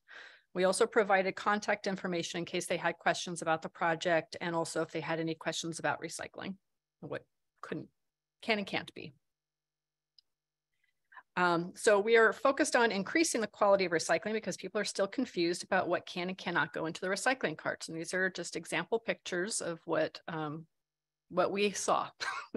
um, the very first one, there's um, organic waste in the recycling cart. Uh, the second picture has um, styrofoam, plastic bags, plastic takeout containers. There's also windshield wipers in there that um, are still in the packaging. Um, and then third um, are recycling uh, recyclables in bags. And we don't want uh, recycling in bags because then it makes it harder to sort at the sorting facility. So we encourage people to just dump it all loose inside of the cart. Uh, after conducting the first pre-sort uh, to gather that baseline data, uh, we really started to inundate the neighborhoods with education and outreach. Uh, we went door to door and we hung magnetic recycling guides on the doorknobs of each household in the targeted areas. And you can see on the screen what it looks like, but this is what it looks like right here. And the guide can be detached by this perforated strip and there's a magnet on the back so that they can put it on the refrigerator to be able to have easy access. Uh, there's also information on there besides what can go in recycling garbage. There's some drop off information so people know where to take their plastic bags and also household hazardous waste. And also after the pre-sort, we discovered um, that incorrect plastics were a large portion of what people were putting in the recycling carts. And so we designed a postcard that we mailed to every household in the areas. And it really highlighted those things that people are confused about. Um, so to provide direct feedback to the household regarding what can and can't be recycled, so this, this is what the lid lift part of it uh, is composed of. So they, there was like a, a brief five to 10 second visual inspection of the cart. There's not digging around, it's just looking at what's on top. And uh, we attached either a good job or an oops tag.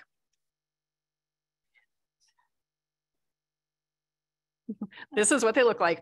Um, and they both have um, like an adhesive strip. And so that's designed to loop around the handle of the recycling cart. And so it's pretty obvious when people go to retrieve their carts on if they received, like which tag they received.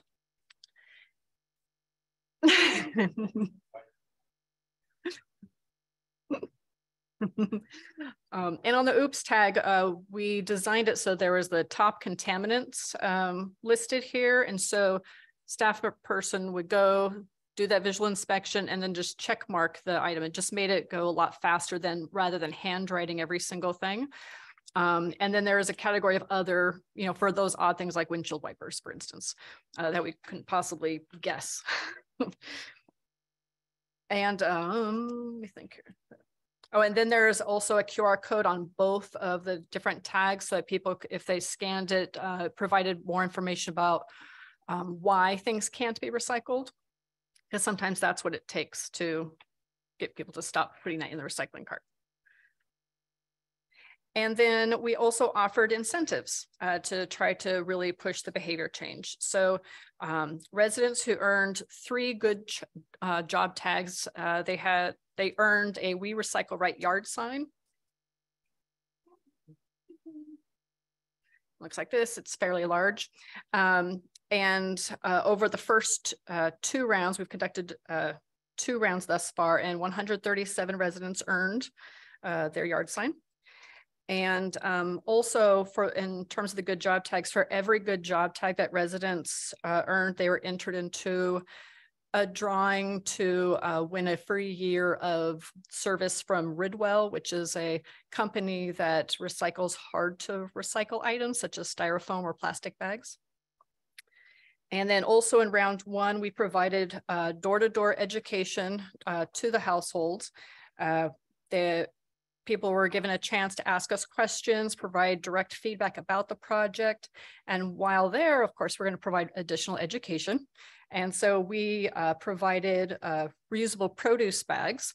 And while we were handing them out, we were educating them about why it's important not to bag your recyclables.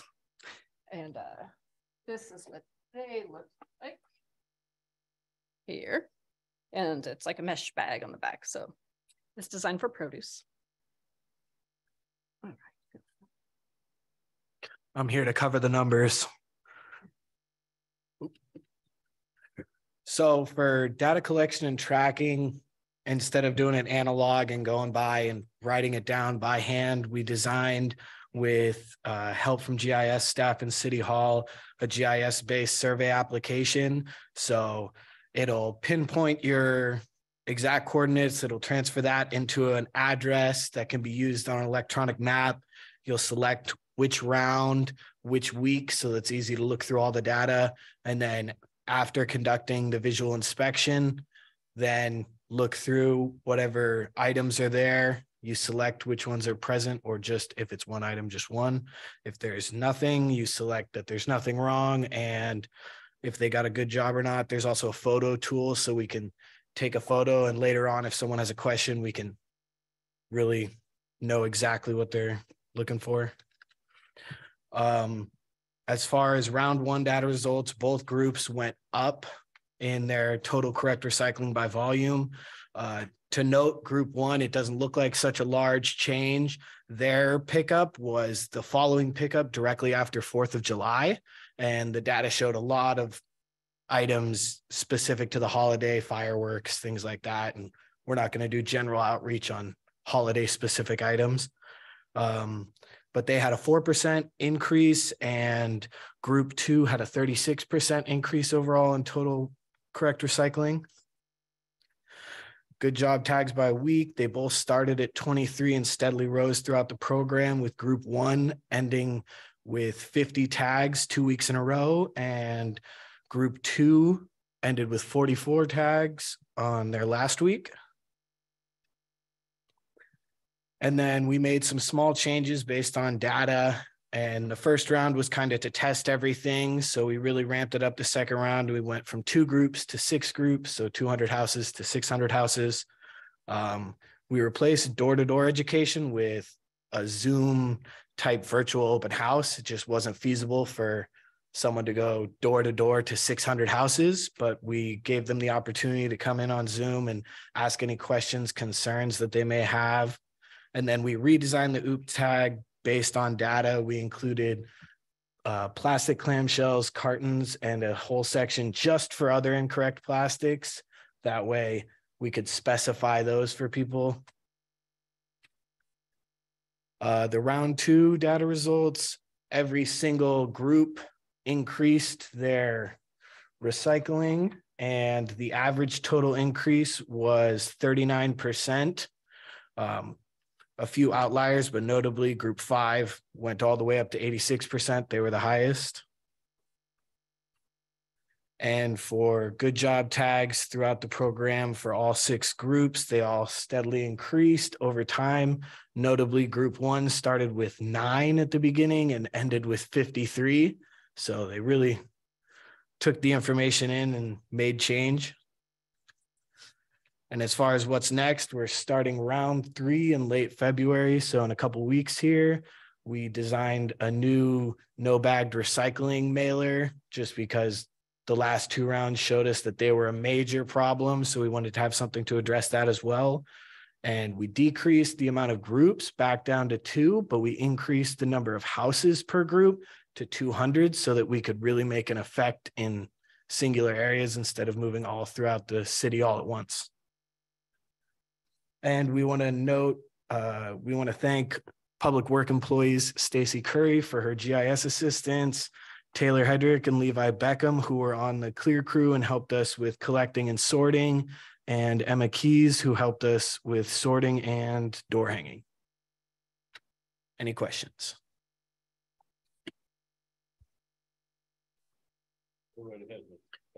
All right, uh, so with this, how, all of this, uh, how, how's it financed? Where's the money coming from for, for all of this?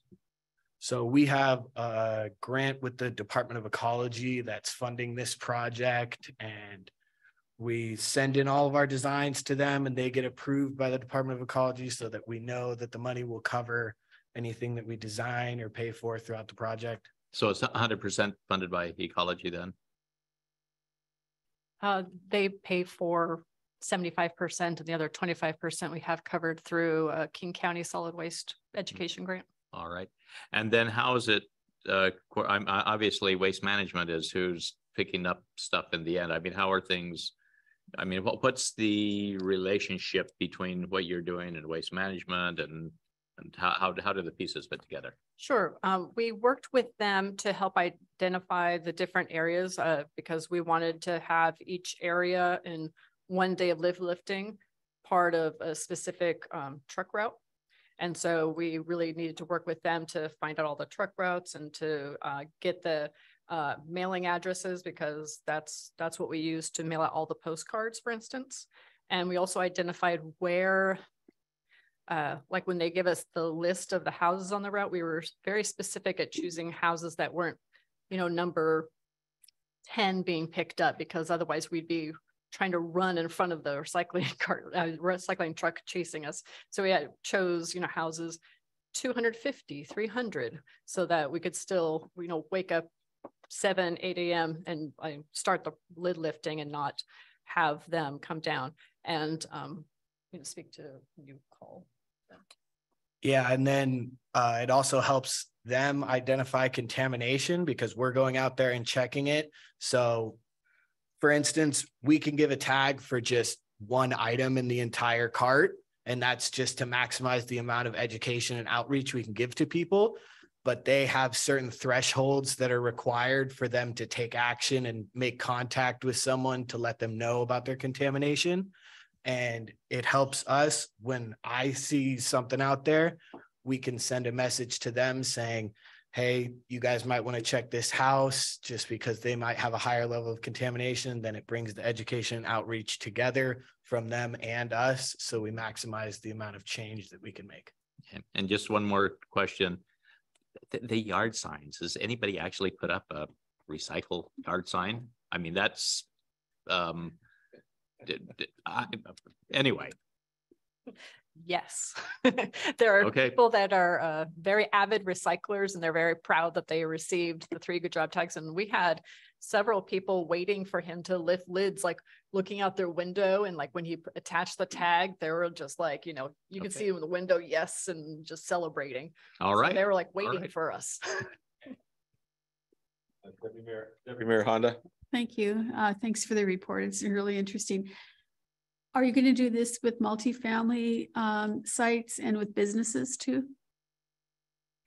Uh, we have, um, this grant ends, uh, it officially ends June thirtieth, twenty twenty-three, and then we'll get a new grant, uh, July first. Um, and we still need to write that grant, but we are looking at designing a program for multifamily to increase the quality of recycling there.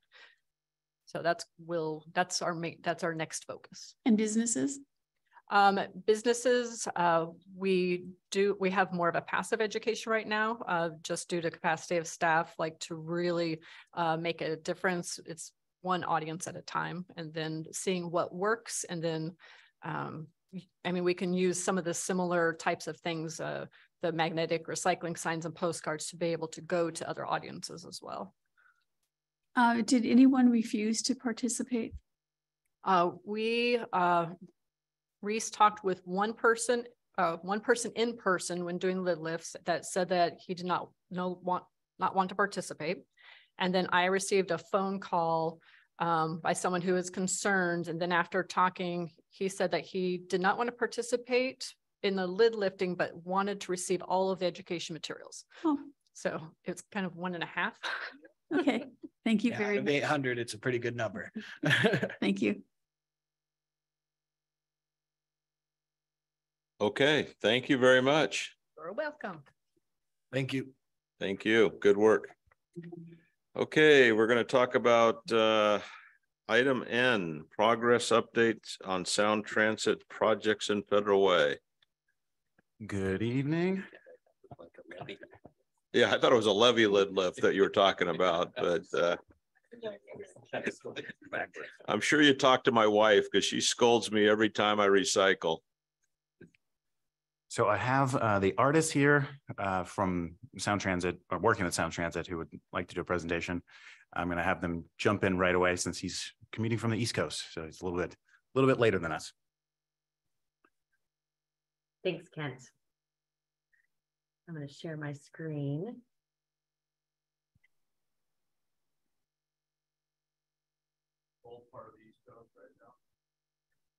It's in New York, yeah, so. Okay.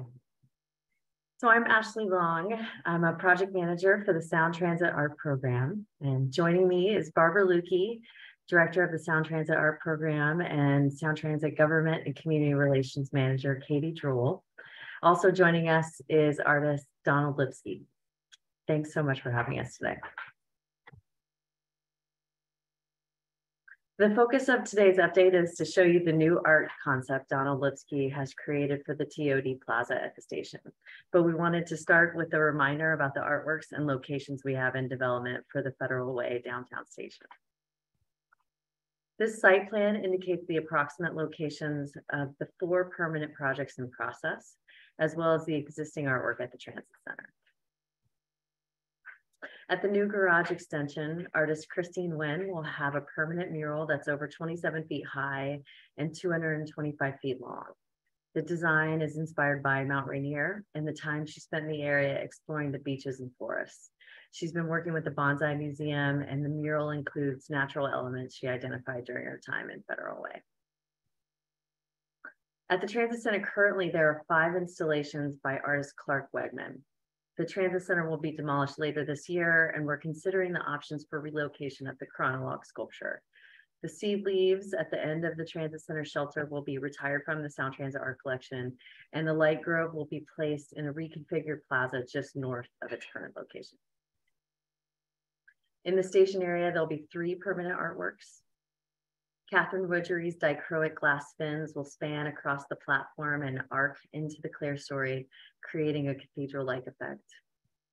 Miles Pepper sculpture High Five, which has been deinstalled from the roundabout on 317th, will be refurbished and relocated in the landscape area within the Kiss and Ride service lot. Donald Lipski's artwork will be located in a plaza just south of what's anticipated to be a new residential retail development and is directly across from the station. So that's shown uh, in with the five in this site plan.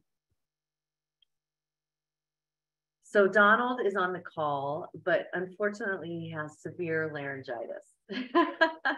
um, so we were hoping that you would get to hear from him today and uh, for him to speak about his new concept in his own words, but he's given me his, his um, presentation.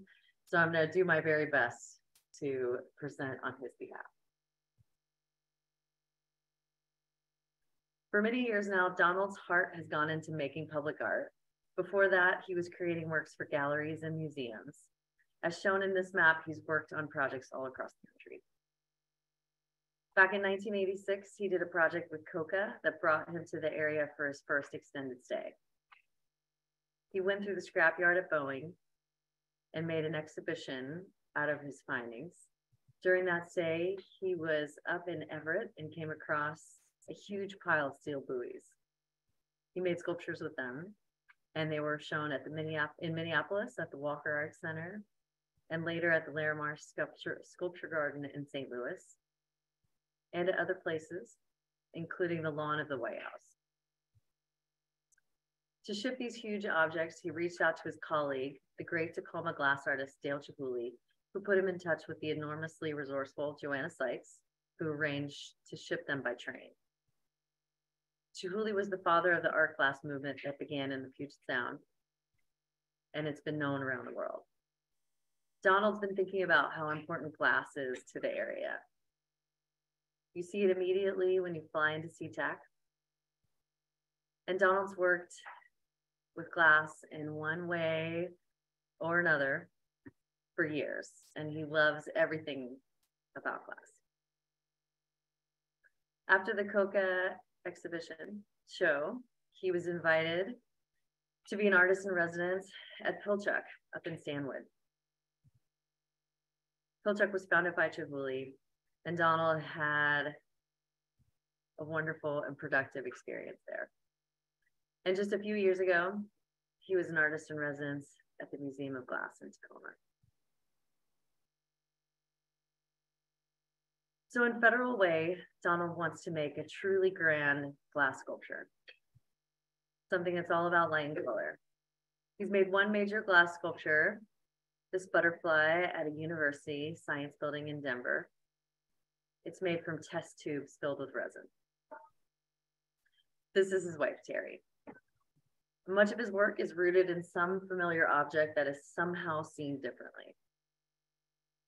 This box of chocolates is at the sports arena in Lincoln, Nebraska. And this chair sculpture is at Denver's main library. And how something sings at night is crucial to Donald. This school of fish in San Antonio is where their famed river walk goes under the interstate highway. And at night, it's amazing. People come out every evening to see the fish light up. The sculpture made from canoes on the bridge into Virginia Beach becomes something wonderful at night, as does this sculpture in Kansas City.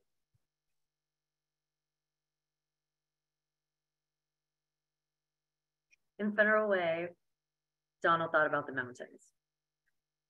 He was amazed at how present they are, and he assumed, as do I, that it's the inspiration for the Federal Way logo. And looking at it and thinking about glass, he saw an enormous lamp. Like a table lamp right out of your home or office, and with a base that could be a bench where people could gather and could feel at home. And underneath, looking up, the glass would be just spectacular. He's given it the colors of the forest. And he pictures it modeled in the way that is so particular to handmade glass and that he finds so beautiful. To emphasize the domesticity of the lamp, he's given it little pool courts. So when you pull into the station, for many of you, it will be coming home. And this sculpture of warm glass, light, and color will welcome you.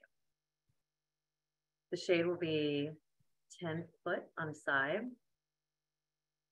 and 14 feet corner to corner and about 22 feet high. It's big enough to be a landmark to help with wayfinding and when the area builds up, it will retain its prominence and be beautifully scaled to the streetscape. It has a homey domestic scale. It'll be clearly seen from the train and will be a wonderful identifying feature of Federal Way. And at night, it will really come to life. It'll be a vision of color and light and warmth. The bench will be about five feet square and the whole base will be made of cast concrete. It'll have this clean modernism of the Performing Arts Center and will quietly complement the spectacular glass shade it will have. It will have some sort of design feature to keep kids from grinding their skateboards, but will otherwise be quite minimal.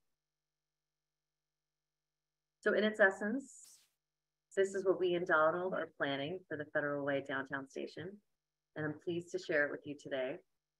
If you have any questions, I'm happy to answer them and Donald can type his uh, potential answers into the chat and we can read them.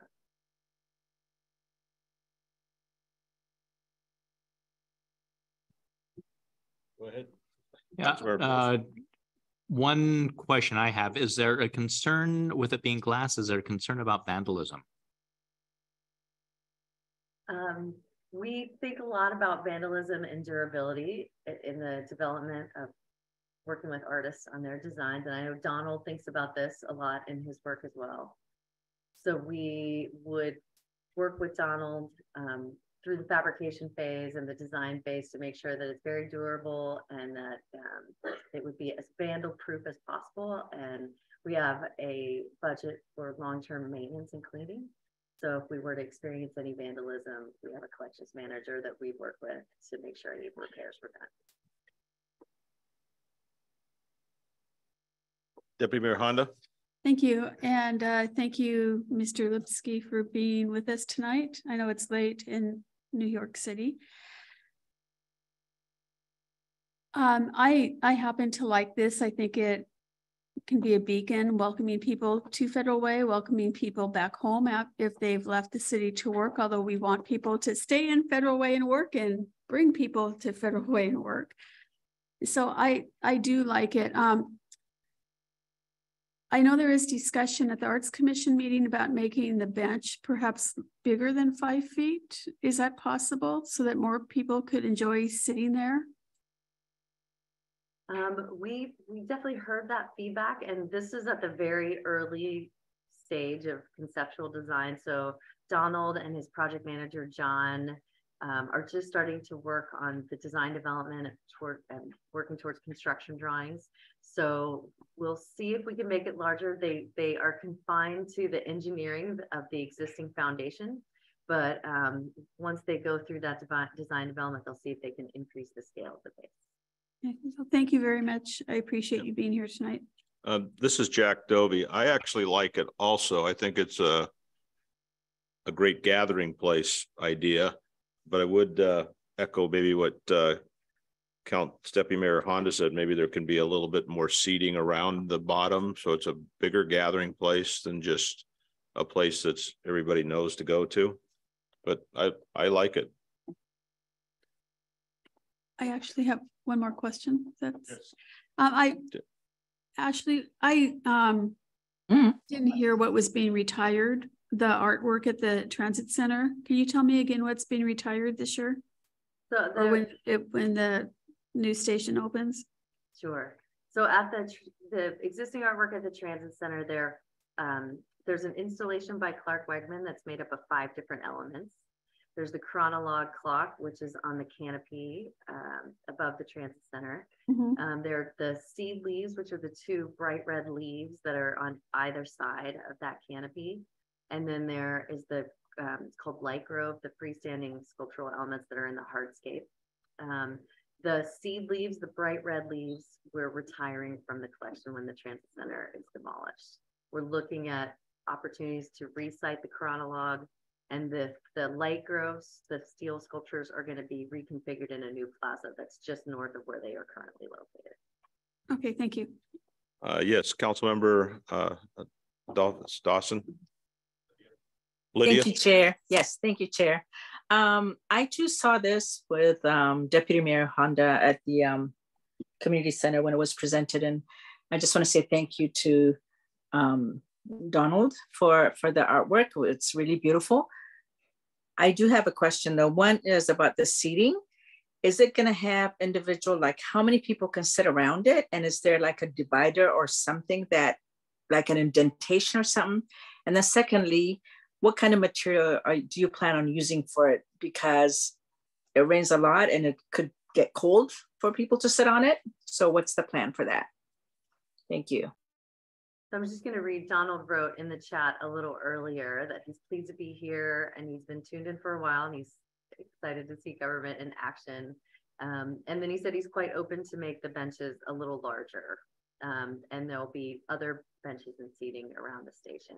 Um, but to answer your question, um, one of the uh, comments that we received and that Donald's thinking about in the design is they he wants to design the benches to be comfortable, but also not a place that people could sleep.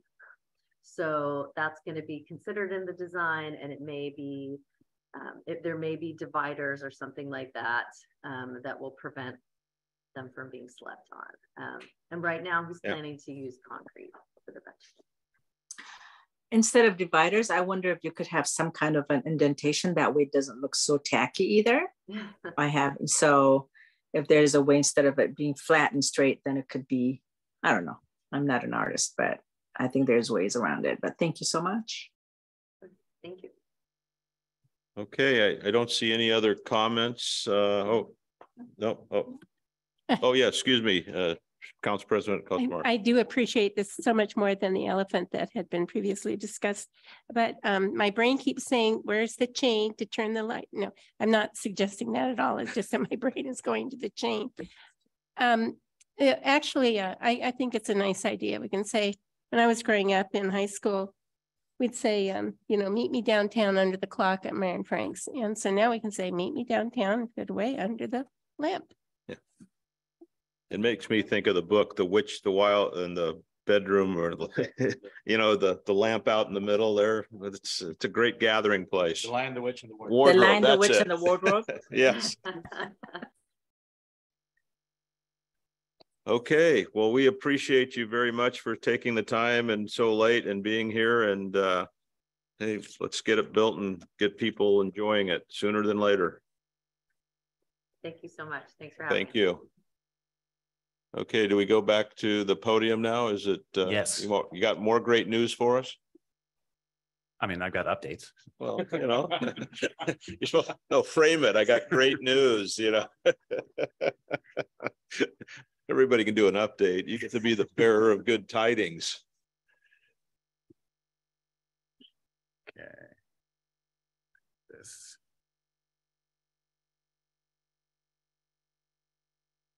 So I didn't introduce myself before, but yeah, I'm Ken Smith with the Public Works Department, the Sound Transit Liaison for the city. Here for some updates.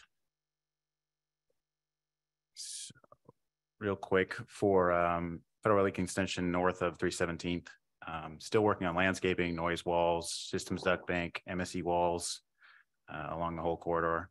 Uh, they're doing some OCS drilling and rail deli- delivery for a few sections. That should start middle of February, so they're they're getting close on a couple of spots. And then uh, still continuing on some deck deck work, basically to support areas not directly over the streets, but kind of adjacent right now.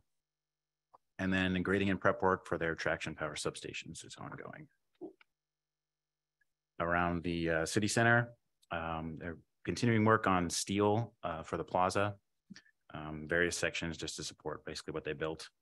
Uh, construction of the garage is ongoing. They just did a pour uh, for the slab on grade and they're doing some fire line inspections.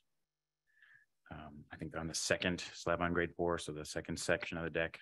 Um, Temporary widening for South three seventeenth Street is expected this week to support basically the, the construction of the roundabout uh, and the shifting of the traffic. And similarly, uh, their signals, their temporary signals are, are finishing up. I think it's within the next few weeks. There was a slight delay, but uh, that should be happening soon. And then the phase closure for twenty-third and three seventeenth.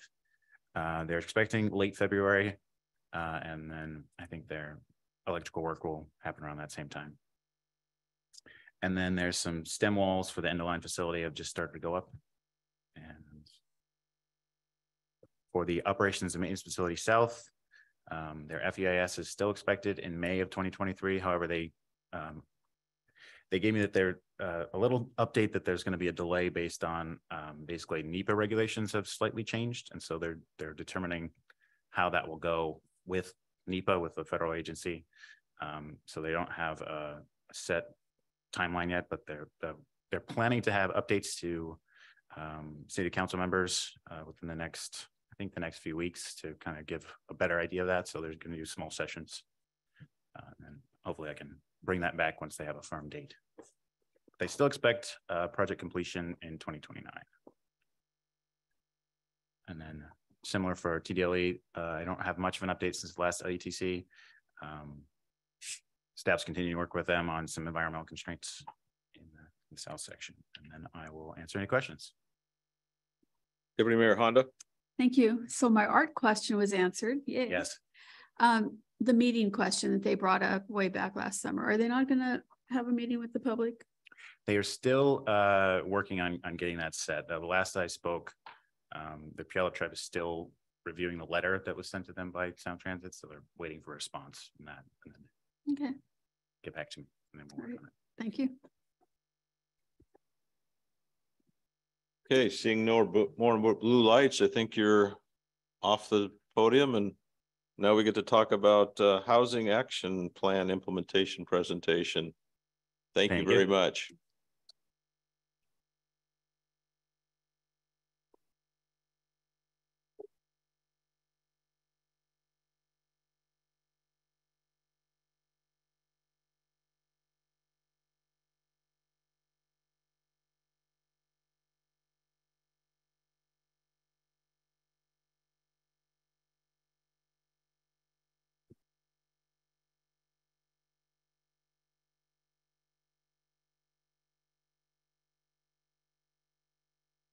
Uh, good evening, committee, uh, Keith Niven, Community Development Director. As we talked earlier, um, um, one of the things we found when we did our housing action plan was that housing development in the city of Federal Way grew at a much slower pace than the cities surrounding us.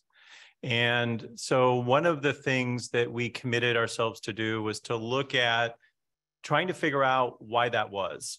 Uh, all things being equal, we should grow at the same pace as our neighbors. And um, that is what uh, this evening's presentation is, is setting up. We hired Heartland um, and I'm going to turn it over to Doug. Are you going to start? And Tyson and James.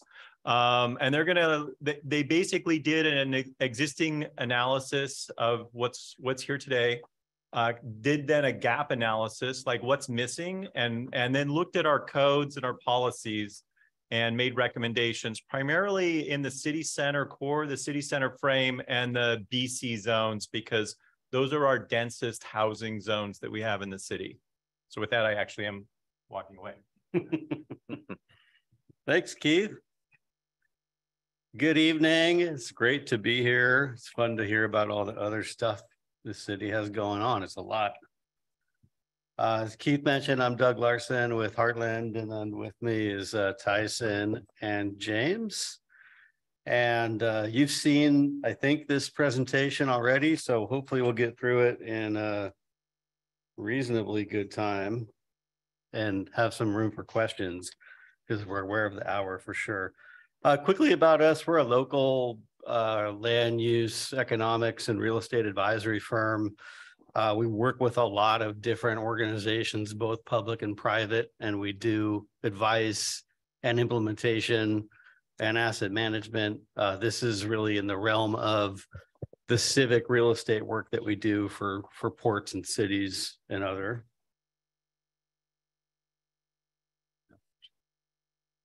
Okay.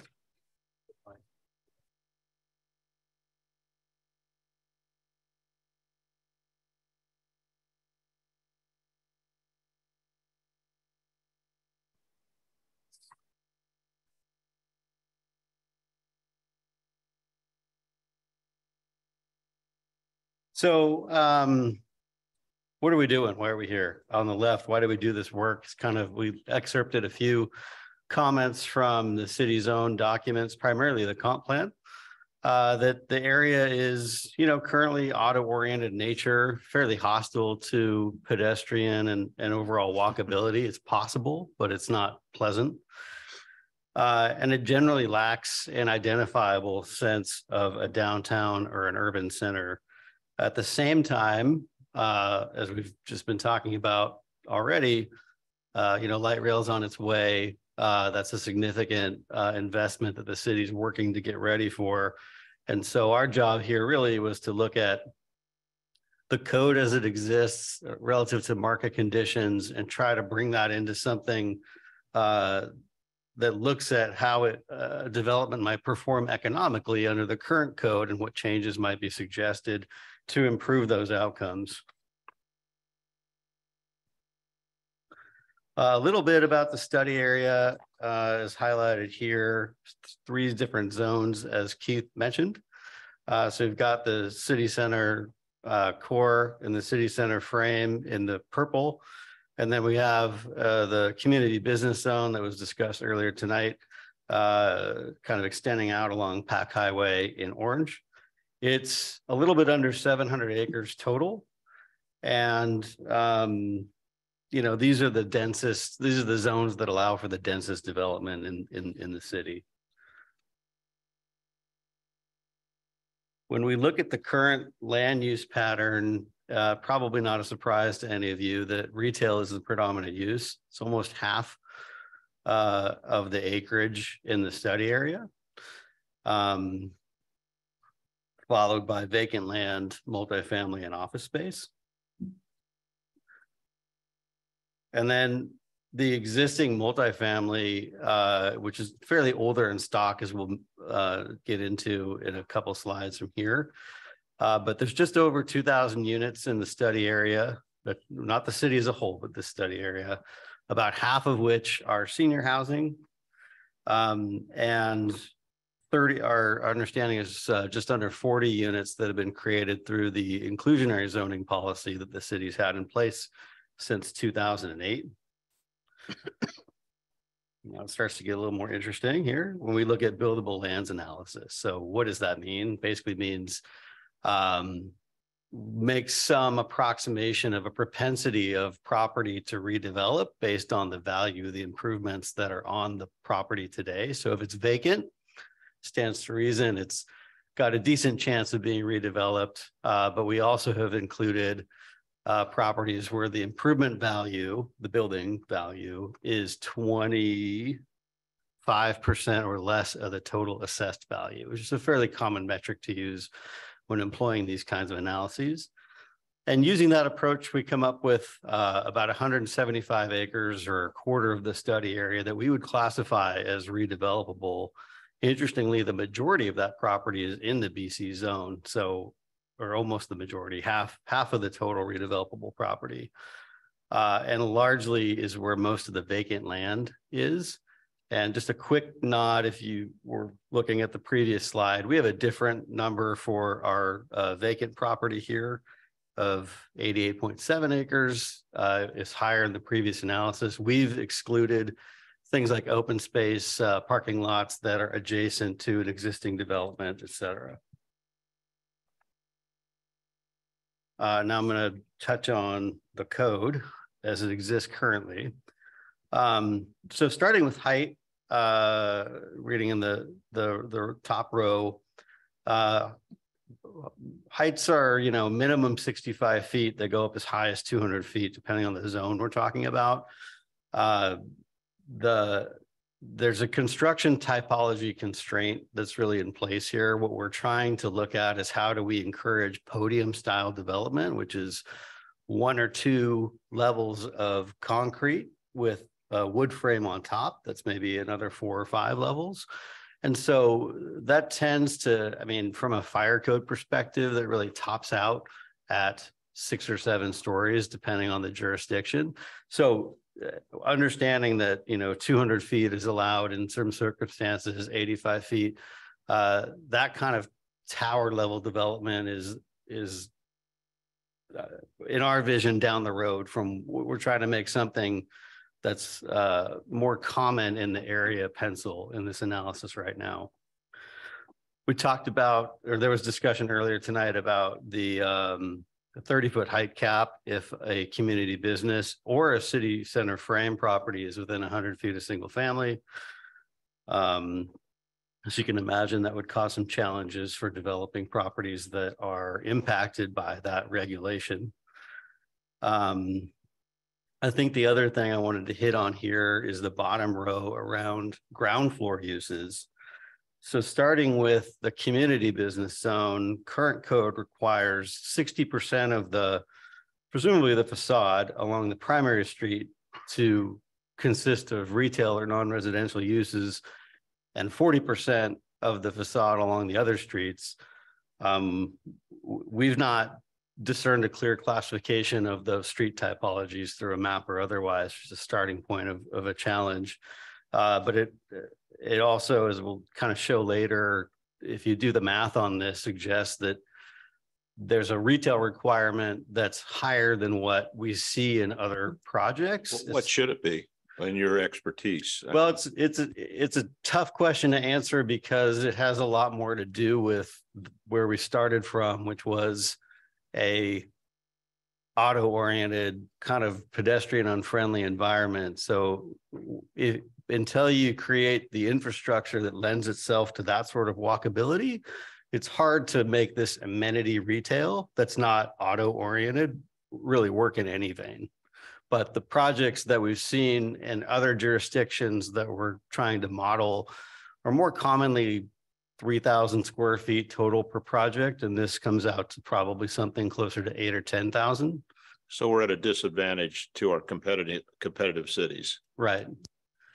Uh, and that becomes exacerbated in the city center core zone where the entire ground floor as it reads has to be dedicated toward residential.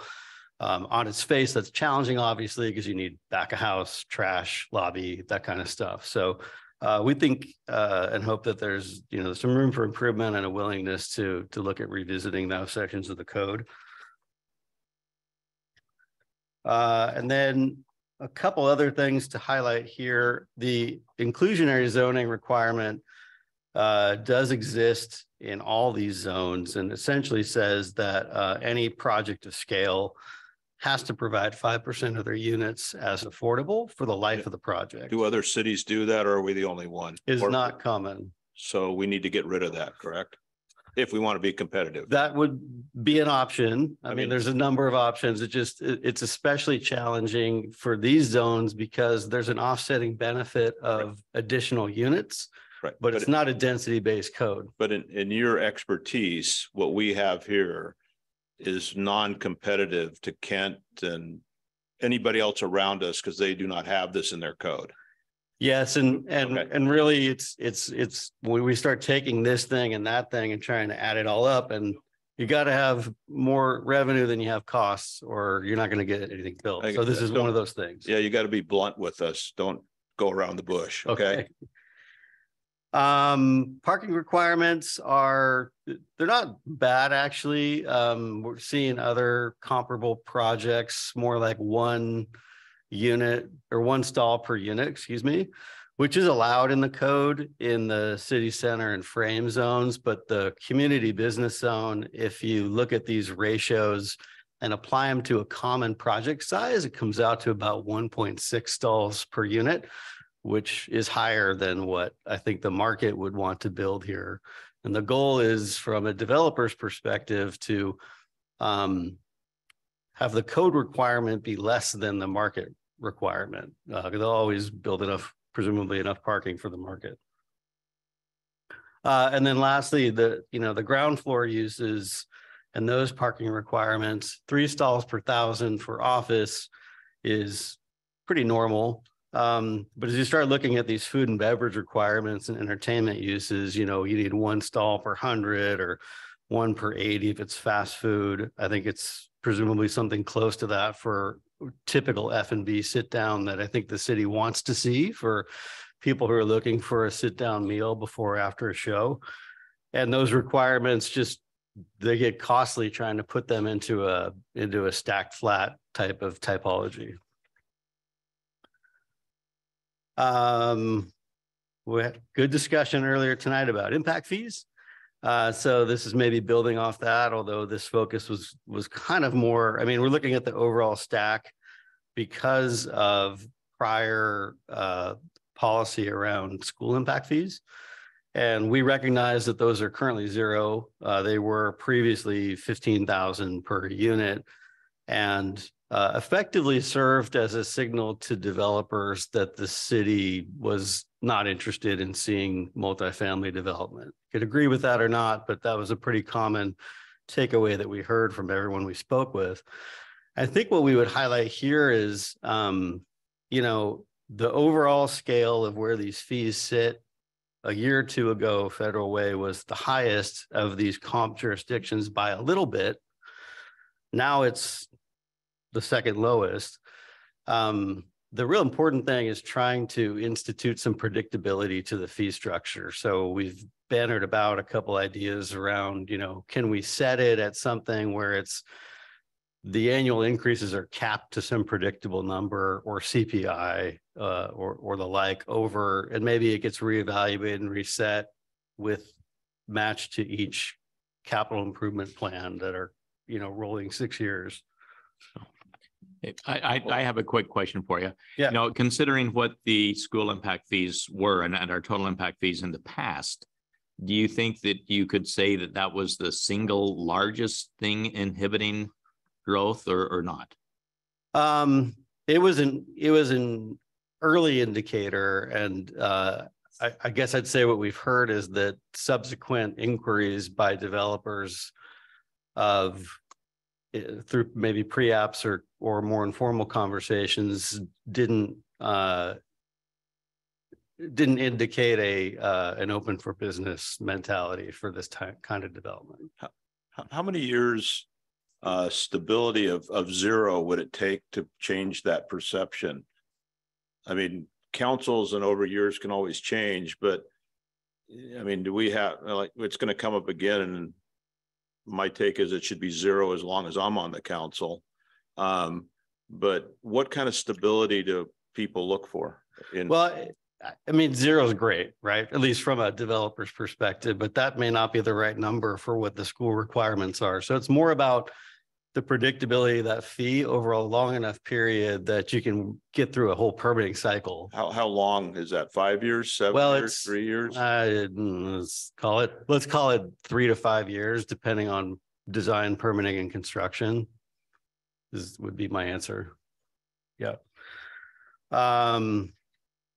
All right, well, tell you more about that. I think we've touched on all these comments. The only other one I would uh, offer is the the multifamily tax exemption is a code policy that is currently in place for the city center and frame zones that allows an abatement of property taxes on all the residential improvements for eight or twelve years, depending on affordability of the project. Um, and it doesn't exist in the community business zone and uh, obviously be very accretive to making development pencil in that zone were to be adopted. Okay, with that, I hand it off to James. Great, thank you. Um, so I'm going to take a chance to talk about uh, the community feedback in terms of developer community and what they've um, talked about in our interviews. Uh, here's a list of some of the property owners and developers uh, that we talked to. But um, you know, generally, the development community has said it's too expensive to develop based on the revenues they can generate. And I know it's super simple. And you know, Tyson will go into the more complex math and we'll kind of work our way there. But that's the general feedback. It takes too much to build for the revenues that they can generate. Um, and so, you know, that they've been looking at trying to either uh, increase the revenue bucket or decrease the cost bucket. And the community or the school impact fees is one way. Uh, increasing the revenue bucket, it goes to zoning changes, increasing um, the size of your buildings or reducing parking requirements uh, and those those elements. Um, and those are things that were identified by us, but additionally identified um, by the developers, uh, parking requirements, et cetera. Um, one of the things also that came up was stormwater requirement uh, and stormwater uh, developers prefer to um, pay a fee versus building your own structures. And additionally, um, what type of stormwater retention is required in different areas um, as well. Um, vaults are required in some areas and vaults are not allowed in other areas, which um, if you want to see podium style development, that is a requirement um, from a developer's point of view of, of having a stormwater vault. Yes. Are these mostly housing developers or are these uh, business? Do they build business?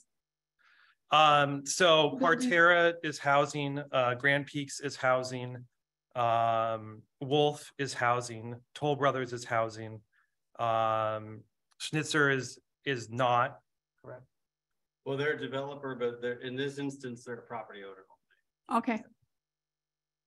All right, Um, yeah. thank you. Um, and so kind of we distilled some of these feedbacks into um, kind of four main bullet points of um, the, the, we encourage the city to be realistic, uh, be flexible, um, be moderate and wish lists of new products. Some of the feedbacks were, oh, like, well, we would develop this site, but the city wants a new road right next to it that we have to pay for as a developer. Um, and be entrepreneurial, um, i.e., you know, help the entrepreneurs build the development that they want to build um, and take the risk with them. Um, and one of the ways of doing this is using incentives to catalyze development. Um, and these incentives don't have to stay around entire uh, all the time, but making up that uh, cost bucket, like helping helping shrink that cost bucket or helping increase the revenue bucket um, over a period of time until rents hit that level that allow for um, more advanced development and to happen without those incentives. Um, one thing we were also asked to look at was the development of condos. Um, that cost structure is typically the same, uh, but additionally, there is a risk of um, litigation that has been around in the state of Washington for a while. There have been uh, changes in 2019 that have reduced that um, risk. Uh, but the general feedback we got from developers is somebody who wants to live some someplace, own a place versus rent, um, wants some sort of amenity um, there or an amenity rich environment. So downtown Seattle, um, you know, Kirkland are areas that are have been able to have stack flat condos, uh, a more viable type of smaller living space construction construction for ownership has been uh, townhouses um, has been more popular. Um, Bothell, for example, I um, spent a lot of time setting the stage for the that kind of stack flat condo development, but haven't seen that yet. Um,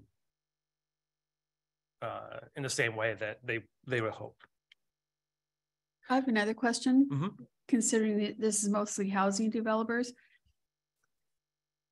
Our school district, depending on who you talk to, has a reputation of maybe not being the best in the Pacific Northwest. Did that come up in any discussions about building here and the school district? The reputation of the school district did not come up as a driver for um, Okay, residential development. thank you. Um, so now getting more towards how we can quantify this gap and how we can bridge the gap. Um, so as we talked about uh, previously, the um, the value of a development project is determined by the revenues minus costs, by some prevailing cap rate determined by the market, and then the cost of a project is determined by hard costs, soft costs, entrepreneurial profit um, required, either you know, which is usually determined by the investors, uh, and then land cost. And what we're going to look at is how this land cost influences the ability of a developer to make a project work. Um, so what, what that number is called, we call a residual land value. Uh, and I'm going to use a specific case here. So say we have a project that's worth $10 million at the end. So a giant building, tons of apartments, et et cetera. Uh, and all the costs associated with it are about to build it, um, besides the land, is about six point one million dollars. So that leaves us with the land worth worth three point nine million dollars. Um, ten minus six point one. Uh, if that land is about one acre, uh, that means about ninety dollars per square foot of land. On a landowner's case, so a developer looking to build a building, valuing the land, what you could pay, um, they can pay. On a landowner's case, say, you know, the the the parking lot is worth about $1.3 million based on the operations of the parking lot. Then that parking lot is worth about, and it's that parking lot's an acre, that parking lot's worth about $30 per square foot. Developer can pay 90, the landowner values it at 30. There's some deal to be made for the construction of the building. Some price will be paid and they'll be able to, to move forward with that. Um, that scenario changes if that land can, you know, uh, is worth more based on the operations of the building or operations of the current structure. And that land is worth less based off of the developer can pay less based off a higher cost of construction. So what Tyson's going to go through next is that we've looked at Federal Way, we've looked at rents, we've looked at how buildings, um, current zoning and future zoning, and assign numbers to these things based off what currently exists in the city and have recommendations on how um, those can change. Thank you, James. And uh, thank you, committee, for having us here. I'm Tyson. And uh, yeah, uh, what James is talking about is this uh this we built into a model and taking what the developers were saying we we tested it ourselves using our own development model to test for this residual land value or willingness to pay for land to really set the comparison stage we wanted to understand that kind of baseline or what we call the hurdle value for what land is trading for in the city uh, and so we looked at the different zones and we looked at uh, the, the different qualities of the land, whether this is vacant land or whether this land has an existing improvement on it, which uh, would increase the value. Because uh, either way, to have development replace the existing value, we need to know that what the hurdle rate is to overcome. And for what we used in this model would be uh, $50 per square foot and then $18 per square foot across the board knowing that it, we have to put the disclaimer out there that these values, uh, when you look at the sales comps that we were comparing against, uh, value dramatic uh, uh, change dramatically. Um, so this is just a rough indicator to kind of measure against the values our model ca- calculated. Um, Can I ask you a quick question? yeah. I mean, when you had the cost on that last slide, you got BC zoning and your, you got the adjusted uh cost per square foot, right? Is that- Mhm. I mean, do you, do you know what it costs between office land, BC? I mean, the difference between those two zones? You probably didn't look at that, but No, but if for existing office, the value will be much higher, for example, than the raw land. I guess if it was raw land and it was zoned BC or owned OP, was it? Is there a difference? Yeah, there'd be a much higher willingness to pay for BC zone land because you can do more with it and, and it's that underlying use that you can, will drive that revenue. Okay, thank you. Um, That's what I thought. Absolutely. And, and in this case, our, the, the, the assumption is that, uh, to, to drive that podium style development, it's going to be the residential component. So the really big, the big thing we want to test in this model are, yes, the costs, uh, but also the revenue assumptions, just because that, um, those assumptions, uh, value dramatically, eh, the, the, they're very sensitive to these inputs. So we first took a look at what existing rents, uh, in Federal Way are achieving for existing projects. And as you can see, a lot of the product that uh, is currently existing is older and is achieving rents uh, averaging about two dollars and eight uh, cents per square foot. Um, this isn't necessarily indicative of the type of product we we we think the city wants to see in the downtown core. So we had to look further afield uh, to find the type of product that we're we're modeling here. Um, and so looking in surrounding jurisdictions where we've seen newer product that is this kind of six-story, seven-story podium style development. Uh, the proto, these are the rents are thirty-five percent higher than the, the current rents in the city. And um, one thing to note, so this informed what we used as our base rent assumption. So using the average of two dollars and eighty-four cents um, as the base rent. One interesting note here is that all of these projects, except with the exception of one, uh, participate in that MFTE program, which is the multifamily tax exemption program that the city already does have in some of its zones. Uh, Um, One more question for you. These ones you just showed. Mhm. None of these have requirements to set aside for low income facilities or. I mean, what's the word I want? Uh, the inclusionary. they- Yeah, they're not being mandated to give three apartments to somebody at a lower cost than what the market value is. That is correct. The, the, the only benefit will come through the, uh, potentially through the MFTE program, but yeah. If not- they elect to be in it. Correct. Okay. One thing that is important to see, just because the model is very sensitive to the rent assumptions, that income, how much can that property generate? Um, we wanted to test, uh, we, we use the prototype rents from those similar projects to inform that rent number, but what about uh, rent increases from transit, let's say? So one thing that we tested was to see, well, what to achieve that hurdle value and, and surpass that hurdle value, what rents would need to be achieved in each of these zones? And we looked from the BC rents would need to increase 15 to 20%. And in the, the city, center zones, you're looking at 30 to 40% increases to rent. Uh, when historically over the last 10 years, the city has seen maybe 5.6% annual rent growth. Um, and we've did some uh, background research on what what rent bump could be attributed specifically to a transit uh, light rail station, for example. And eh, the studies are pointing to an increase of five to 10%. None of this is able to get you over that hurdle value alone, um, which was an important thing to test. So we held our base rent assumption at that $2.84.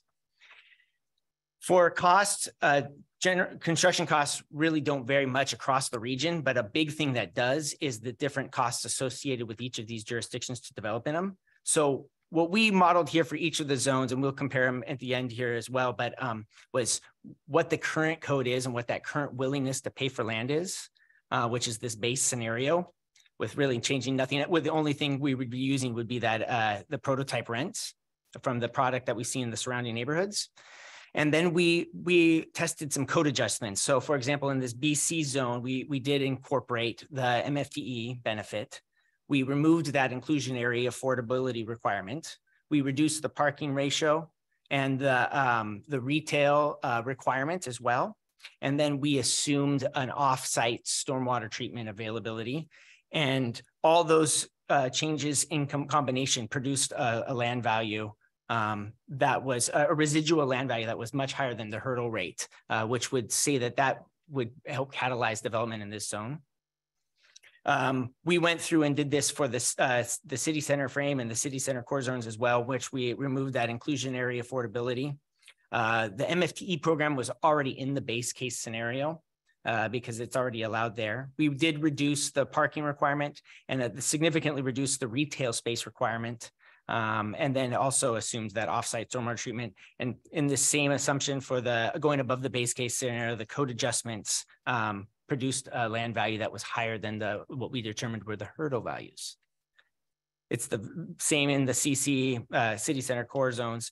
And now just really comparing against these, the big thing here that we took away is that um, these changes had a substantial impact on the uh, the likelihood that these properties could be redeveloped above, above both the vacant and improved land hurdles. Um, the uh, some of the changes have a greater impact, and that's something that we'll show on the next slide. But uh, there is a the, the big one that was the takeaway from especially the city center core zone was that the retail the the requirement for the retail is a significant impact. Other impacts like the inclusionary housing do, do have a significant impact as well. Um, but the by far the biggest was the retail requirement on the ground floor. Um, so really to compare this, what we did, and this is just a quick to quick to compare, and then I'll turn it over to questions. But well, what was the size of the impacts for some of these? I know some of the questions you you've asked a couple questions about the inclusionary requirement. So this assumes in the full adjustment scenario where all the changes were that we recommended or we tested for were made at, at, at once. And in each of these, we made one modification to each of the uh, the different um, elements to be tested to see the impact. And as you can see there, the ground floor retail reduction. So removing that, that um, had the, the most significant impact there, meaning that um, that contributed the most to this additional land value. And I'm gonna, with that, I'll turn that over to some questions. I know it's a pretty intense analysis, but um, hopefully that provides some clarity. Can we get a cop, excuse me, can we get a copy of this so we have it to look at? It's in our packet, I think. I didn't see it in the packet. Oh. Oh, part of it was, okay. Yeah, definitely. Thank you. Yeah, sorry. So, so do you, can you estimate? I know if we had made these changes five years ago or, or what, when did we, when did the other cities, when did the curve go like this? How far back? You get, could, did you test for that? Like, you know, we've had high school impact fees. We've had this inclusionary housing. We have retail on the bottom and we have parking. All four disadvantages is what you just said. What's that? Stormwater. And stormwater vaults, yeah. So if we go back, how far back ago did we do what we thought we were doing and get off kilter? Can you, is there a path where we got out of sync? I don't, we're not sure when those, uh, current code was codified, but I mean, there was a But- giant development wave that just happened. And we missed it all. Yeah, Um, and if we made these changes now, you have a feel for how much gas is still in the tank? um, well, it's, you know, ever, people need a place to live. Right. Always. And it's all about the land, right? Need a place to go to work anymore, so, um, pending, but it's hard to say exactly. It's, it's, you're setting the table and saying we're open for business. We've taken a hard look at a few things and made some code adjustments that we think will better condition the city to development. And then, you know, there's and how you want to promote that from an economic development perspective is a potential implementation measure, but you can't make someone do something. right? No, I understand it. Somebody's got to invest the money and want to be here. We just have to set the table so they feel like we're in the game. Keith, how long would it take us to if we decided that these were things we wanted to change, what's the timeline? How fast could we move? You, you've already like started the fast lane with the view protection code amendment. Yeah, um, but I mean, at- at the be done council in- retreat. we be done in 90 So days, This is, days? um, so here's the thing, um, I've already drafted code amendments, um, and the one that's causing us pause to move forward uh, is the school district. I'd like to talk to the school district about, They don't there's a, there's They a. don't talk to us. Why do we want to there's a, talk to there's a them? couple choices. Um, one is, you know, what they said was, and, and the key is predictability. You know, the idea that we go from zero to possibly back to twenty thousand a door or even to fifteen thousand a door. If you're a developer and you have to perform a, an unknown like that, you just, you assume the worst case scenario, right? And so there's two choices. There are um, some uh, school districts that have uh, in the state that have adopted a cap that said, okay, in no in no circumstances will the school impact fee go above X thousand dollars. Um, there's another scenario that we've talked about, which would be you allow it to increase by a maximum of say like two thousand dollars a year. So if I know it's going to take me three years to get through the permitting structure, I can then, whether it's a cap or a certain amount per year, I can make an assumption of what's the worst case scenario that I need to account for for this for the school impact fees. So there's there's a couple choices. I would love for this to talk about that with the school district and potentially get some thoughts before we put something out there for the planning But commission. my, but my question is, I understand single family homes. Many of those will have school, school age children. Right. Most market rent facilities, if you go look around them and you do the studies, I believe, don't have a lot of children. And most of them are empty nesters who want to stay in the neighborhood, who want to move somewhere nice and stay. Or they're young professionals, maybe single or getting married. I'm profiling, sorry if I'm doing this, but um, that don't have a lot of children. So, I mean, is there a study on that somewhere? I, I, my gut tells me that most of these places aren't rich with lots of school buses coming and picking up children to go to school. Um, the stuff that's going to happen in the city center core, city center frame and the BC zones. Um, at least, you know, if, if, if the proposals we got back for TC three as an example, um, a majority of those units are going to be studios and one bedrooms, um, which really don't generate a ton of kids. So we could give predictability to the areas we want to redevelop sooner than later. And it doesn't really have much to do with schools, right? I mean, potentially. I mean, you could have two tiers. You could have the city core development area where there's studios and not children friendly. And then also maybe have something different in the other areas. Could That's you a have choice, that's a choice as well. Um, but to answer your question, my hope would be that we would get these code amendments uh, back to you guys by mid-year. Mid-year, so no later than June? That's my hope. Okay. well, Or Is there, July. okay, uh, Deputy Mayor Honda, your turn. I'm sorry. Thank you.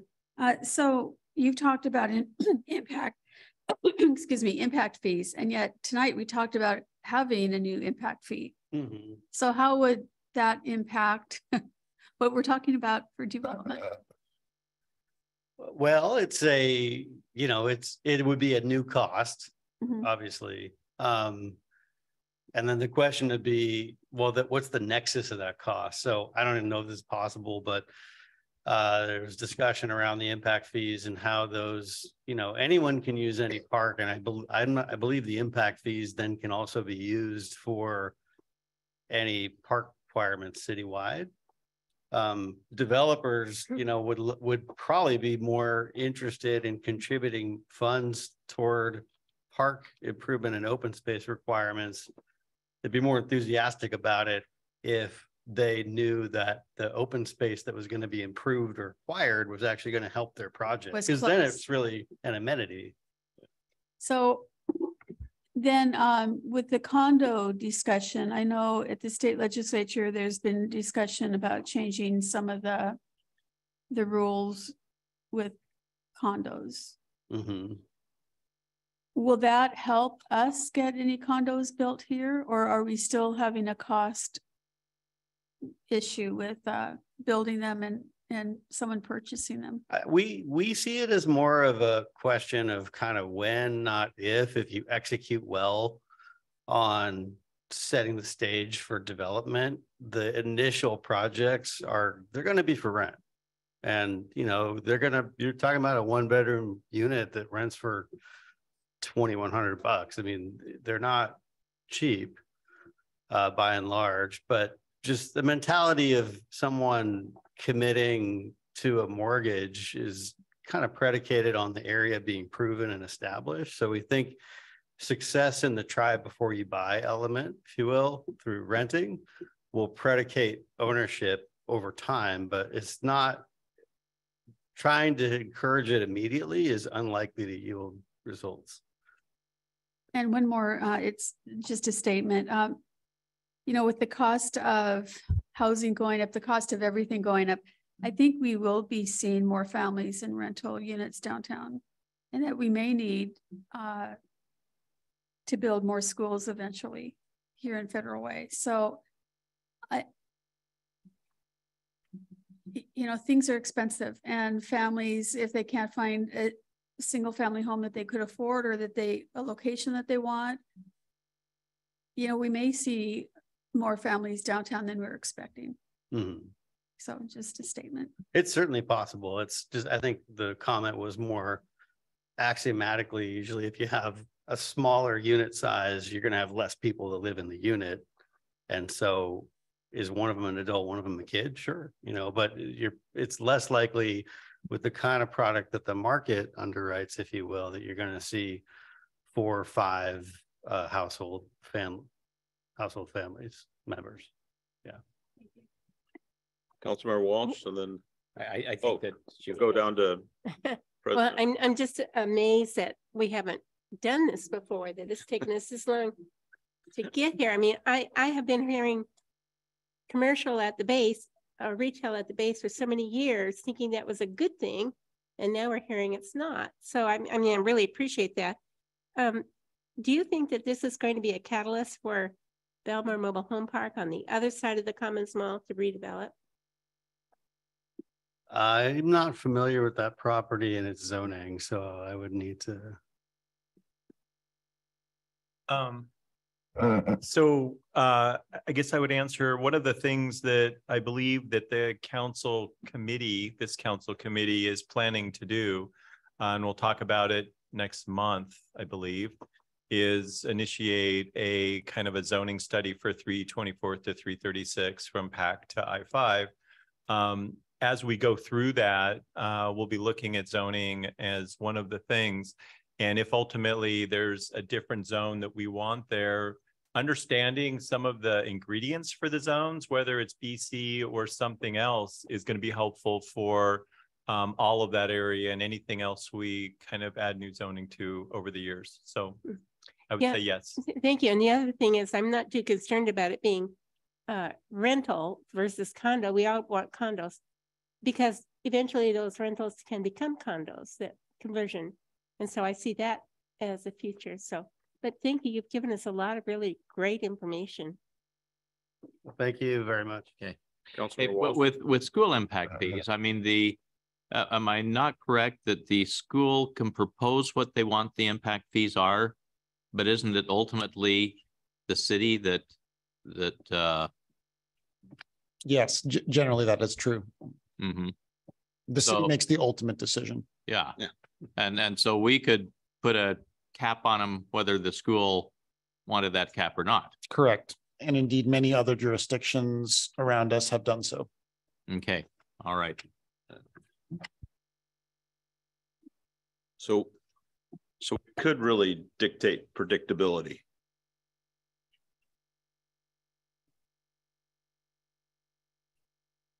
Any other questions? Yes, Councilmember Honda. So when, Deputy Mayor. thank you. When we're talking about school impact fees, um, it would be great to, to have, to be able to tell a developer, yes, in three or four years, it's going to be this, but councils change. I know, we, we, so we, we have a a- two-year window. Yeah, so, just saying. I mean, you we know, have a, we actually have a one-year window to get this done. Just, just saying it's, I, and, and developers know that. You know, they, they know that things can change on the council. But we But- can give but- some. But then they can predictability. change in the other cities too.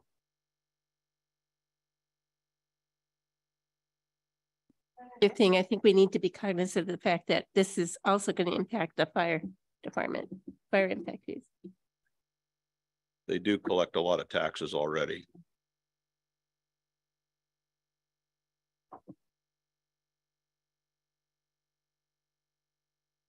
Okay, anything else on uh information on this one before we go to our next one before eight fifteen? No, this one, this one would be done. Hey, this has really been very helpful and very good. Thank you very much. Okay, now we're gonna move to information. on reports for the garden wild. Uh, yeah, so, um, this is, uh, this is really just an opportunity for, uh, representatives of the property owners to come and talk to this, the council committee. Um, Wild Waves is covered by a, um, as we mentioned earlier, a concomitant agreement, um, or a development agreement, which basically limits the land uses and, and other things that happen on the property. And uh, what the property owners would like to do is, is to chat with the city about maybe making some amendments to that contract. So with that, I'm going to go ahead and turn it over to Anne, who is uh, attorney for the property owner. Thank you, Keith. Chair Dovey, members of the committee and council members, my name is Ann Gygi. I'm an attorney with Hillis Clark Martin and Peterson. And we've had the pleasure of working with the landowner of Wild Waves um, on land use matters since they annexed into the city back in the nineteen nineties. And so that's, that's been a long-term relationship that we've had with them and that they've had with the city. Um, Thank you for allowing us on your agenda tonight. I understand we are the last item on a long agenda, so I'm going to keep my comments brief. Um, but we're happy to answer questions. And I do have one of our consultants with us tonight who has looked at some traffic considerations for the, the park area. So we have him available if there are any questions about that. Um, what we are, what the landowner would like to do is there's basically two things in the concomitant that he is trying to change. The first one is to uh, make it easier for the park operator to make some pretty significant investments in the park. The operator is, is interested in investing up to, you know, 20 some million dollars in the park in new rides and replacement rides.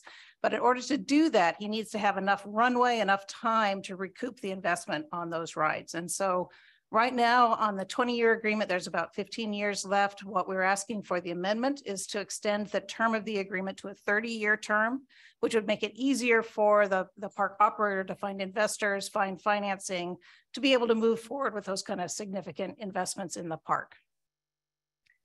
So that's, that's thing one. And then the second thing that the landowner would like to do is um, after the park had to close down for a year during the pandemic, it was a little bit of a, a, a, light bulb going on that you need to think about the future in, in different ways. And what he was looking at is that the, the uses that were allowed there, there's a couple of uses that are of interest that are not very well put together in the agreement as it is. So for instance, for the hotel use that is an allowed use on the property in the future, um, it's limited to a five acre lot. And on a 65 acre property, a five acre lot for what's going to be the showpiece hotel is not a really very realistic thing. So we'd like to remove that five acre limitation on a ho future hotel use. The, the second one that is a, is a very strong use in the current economy, of course, is warehousing. Warehousing isn't allowed use on the site, but it is limited to an accessory use of 25% of the site. So again, what, what he is looking to would be to remove those restrictions from those two uses. There's no development proposal for either of those. Um, the, the owner wholeheartedly supports the park going forward. And as I said, would like to extend the term to make it easier for the park to make investments in the property. But what he is looking to is that if there were a situation in the future, another pandemic that the park couldn't recover from, a terrible earthquake, those kind of things, to make it easier to pivot to a different land use on the site if that became necessary in the future. And those are things that, you know, like I said, there's no development proposal with this, but, but what this would do would make it easier to talk to other market segments in the future if that, if that became necessary. And, and turning that back to some things that this committee has talked about tonight, what you're talking about is how many years would the property have to sit vacant and idle if the park use were to go away? And so that's what, what you're trying to guard against is to minimize that in the future. So that's the request. It's fairly simple. What we're hoping is if it's the pleasure of the committee, we look forward to working with staff to put together, uh, process the application that has been made. And like I said, happy to answer any questions. Deputy Mayor Honda? Thank you. Can you define what an accessory use for warehousing is? So I'm thinking of warehouses like IRG is building where trucks come and go and cause, uh, you know, we don't get a lot of uh, financial gain from that as a city. And we have a lot of issues with roads and, and con- congestion on roads. I will assume when, once that opens over the old Weyerhaeuser property. So what is an accessory, accessory use for warehousing? What's the definition? Well, the, the definition is, it's in the concomitant and mm-hmm. it is just, it's, it's actually not defined. It just says that warehousing is allowed as, as an accessory use up to twenty-five percent of the principal use. And so you're, you're asking for an example of what might a use be that would have a twenty-five percent accessory use? I'm asking what kind of warehousing this is. Is it like we, what we're gonna see at the IRG property? Big concrete structures with truck bays coming and going. Is that what, is that what this is? I would, I would go, I would say that what we're looking for is that for the use to be allowed, we're not proposing any particular structure. Like I said, there's no, there's no development proposal associated with this. Um, but warehousing slash dis- distribution is a use type that is the use that is being asked to be made more flexible at this site. No current proposal for that to occur. Is, can I- S- can I jump in for just Sure. a second, and ask a question? The, the main request, as I think I heard you say, is not warehousing, but the ability to go from fifteen or twenty years on the park to extend it longer so the, the park people can invest in the, in the land so they can be here long-term? Well, yes, that- that is, That's the main. yes, you're, you're the- correct. The, the main ask, if staff works on it, is to give Wild Waves, whoever that is that owns the rides, the ability to have, to know that if they invest 20 million, 10 million, 5 million, 30 million, they got a long runway to get it back. That's, That, that is correct. and the second request is, we already have something in there that says you can do a hotel or you can do some warehousing as a fallback if Wild Waves all of a sudden disappears and there's a pandemic for three years and nobody ever goes to a park again. Correct, Is that what you're asking to work with the staff to talk about? correct. I'm, I'm just asking for the. Yeah, no, I just, I just So, wanted yeah. to, because it's not, I don't Right. think we're asking for warehousing like IRG or anything. Well, that's what I'm trying to, Yeah, that's why I was, to find out. yeah. Yeah. That, okay, go ahead. Anyway, thank you very much. Thank you. Uh, Councilmember Walsh. Yeah, and- I mean, to, to me, the, the extension, uh, you know, un- unless somebody has some reason not to, I, it seems to me as though that's a no-brainer, you know? And, and also the expanding the, the portion that could be a hotel from five acres to larger. It, it, it seems like that makes perfect sense as well. Uh, I mean, I, I do have some concerns with the, with the warehouse part. And if, if, uh, you know, if, you know, if the earthquake happens or whatever, and I mean, hey, and, and Wild Waves is no more, is warehouses what we would really want there, or is there better use of the property than that? And I think that that's where the, where the, the, the sticking point could be. On, on the other things, I, I don't see any problem with it at all, and I, I suspect that the rest of the council doesn't see a problem with it either.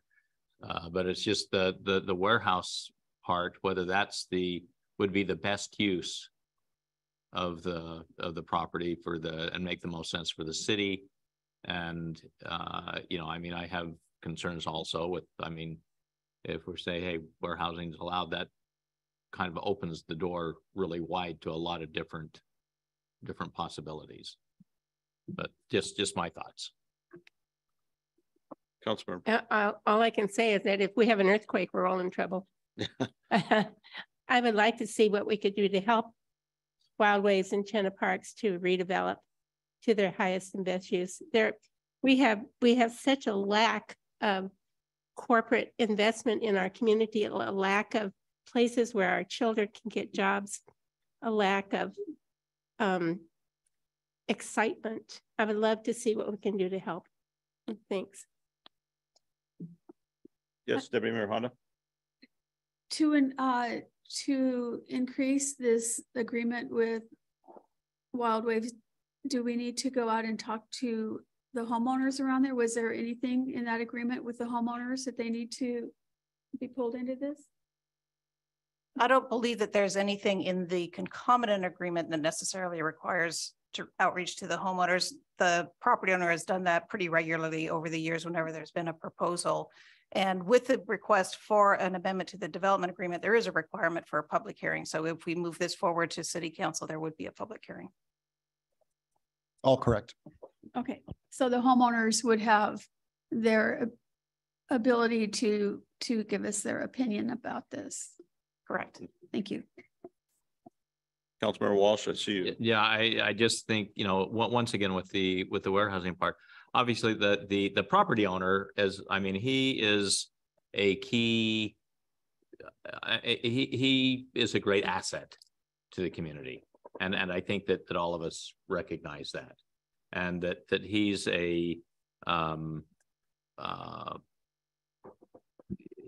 you know, he, he, he- he's, he's helped the community tremendously.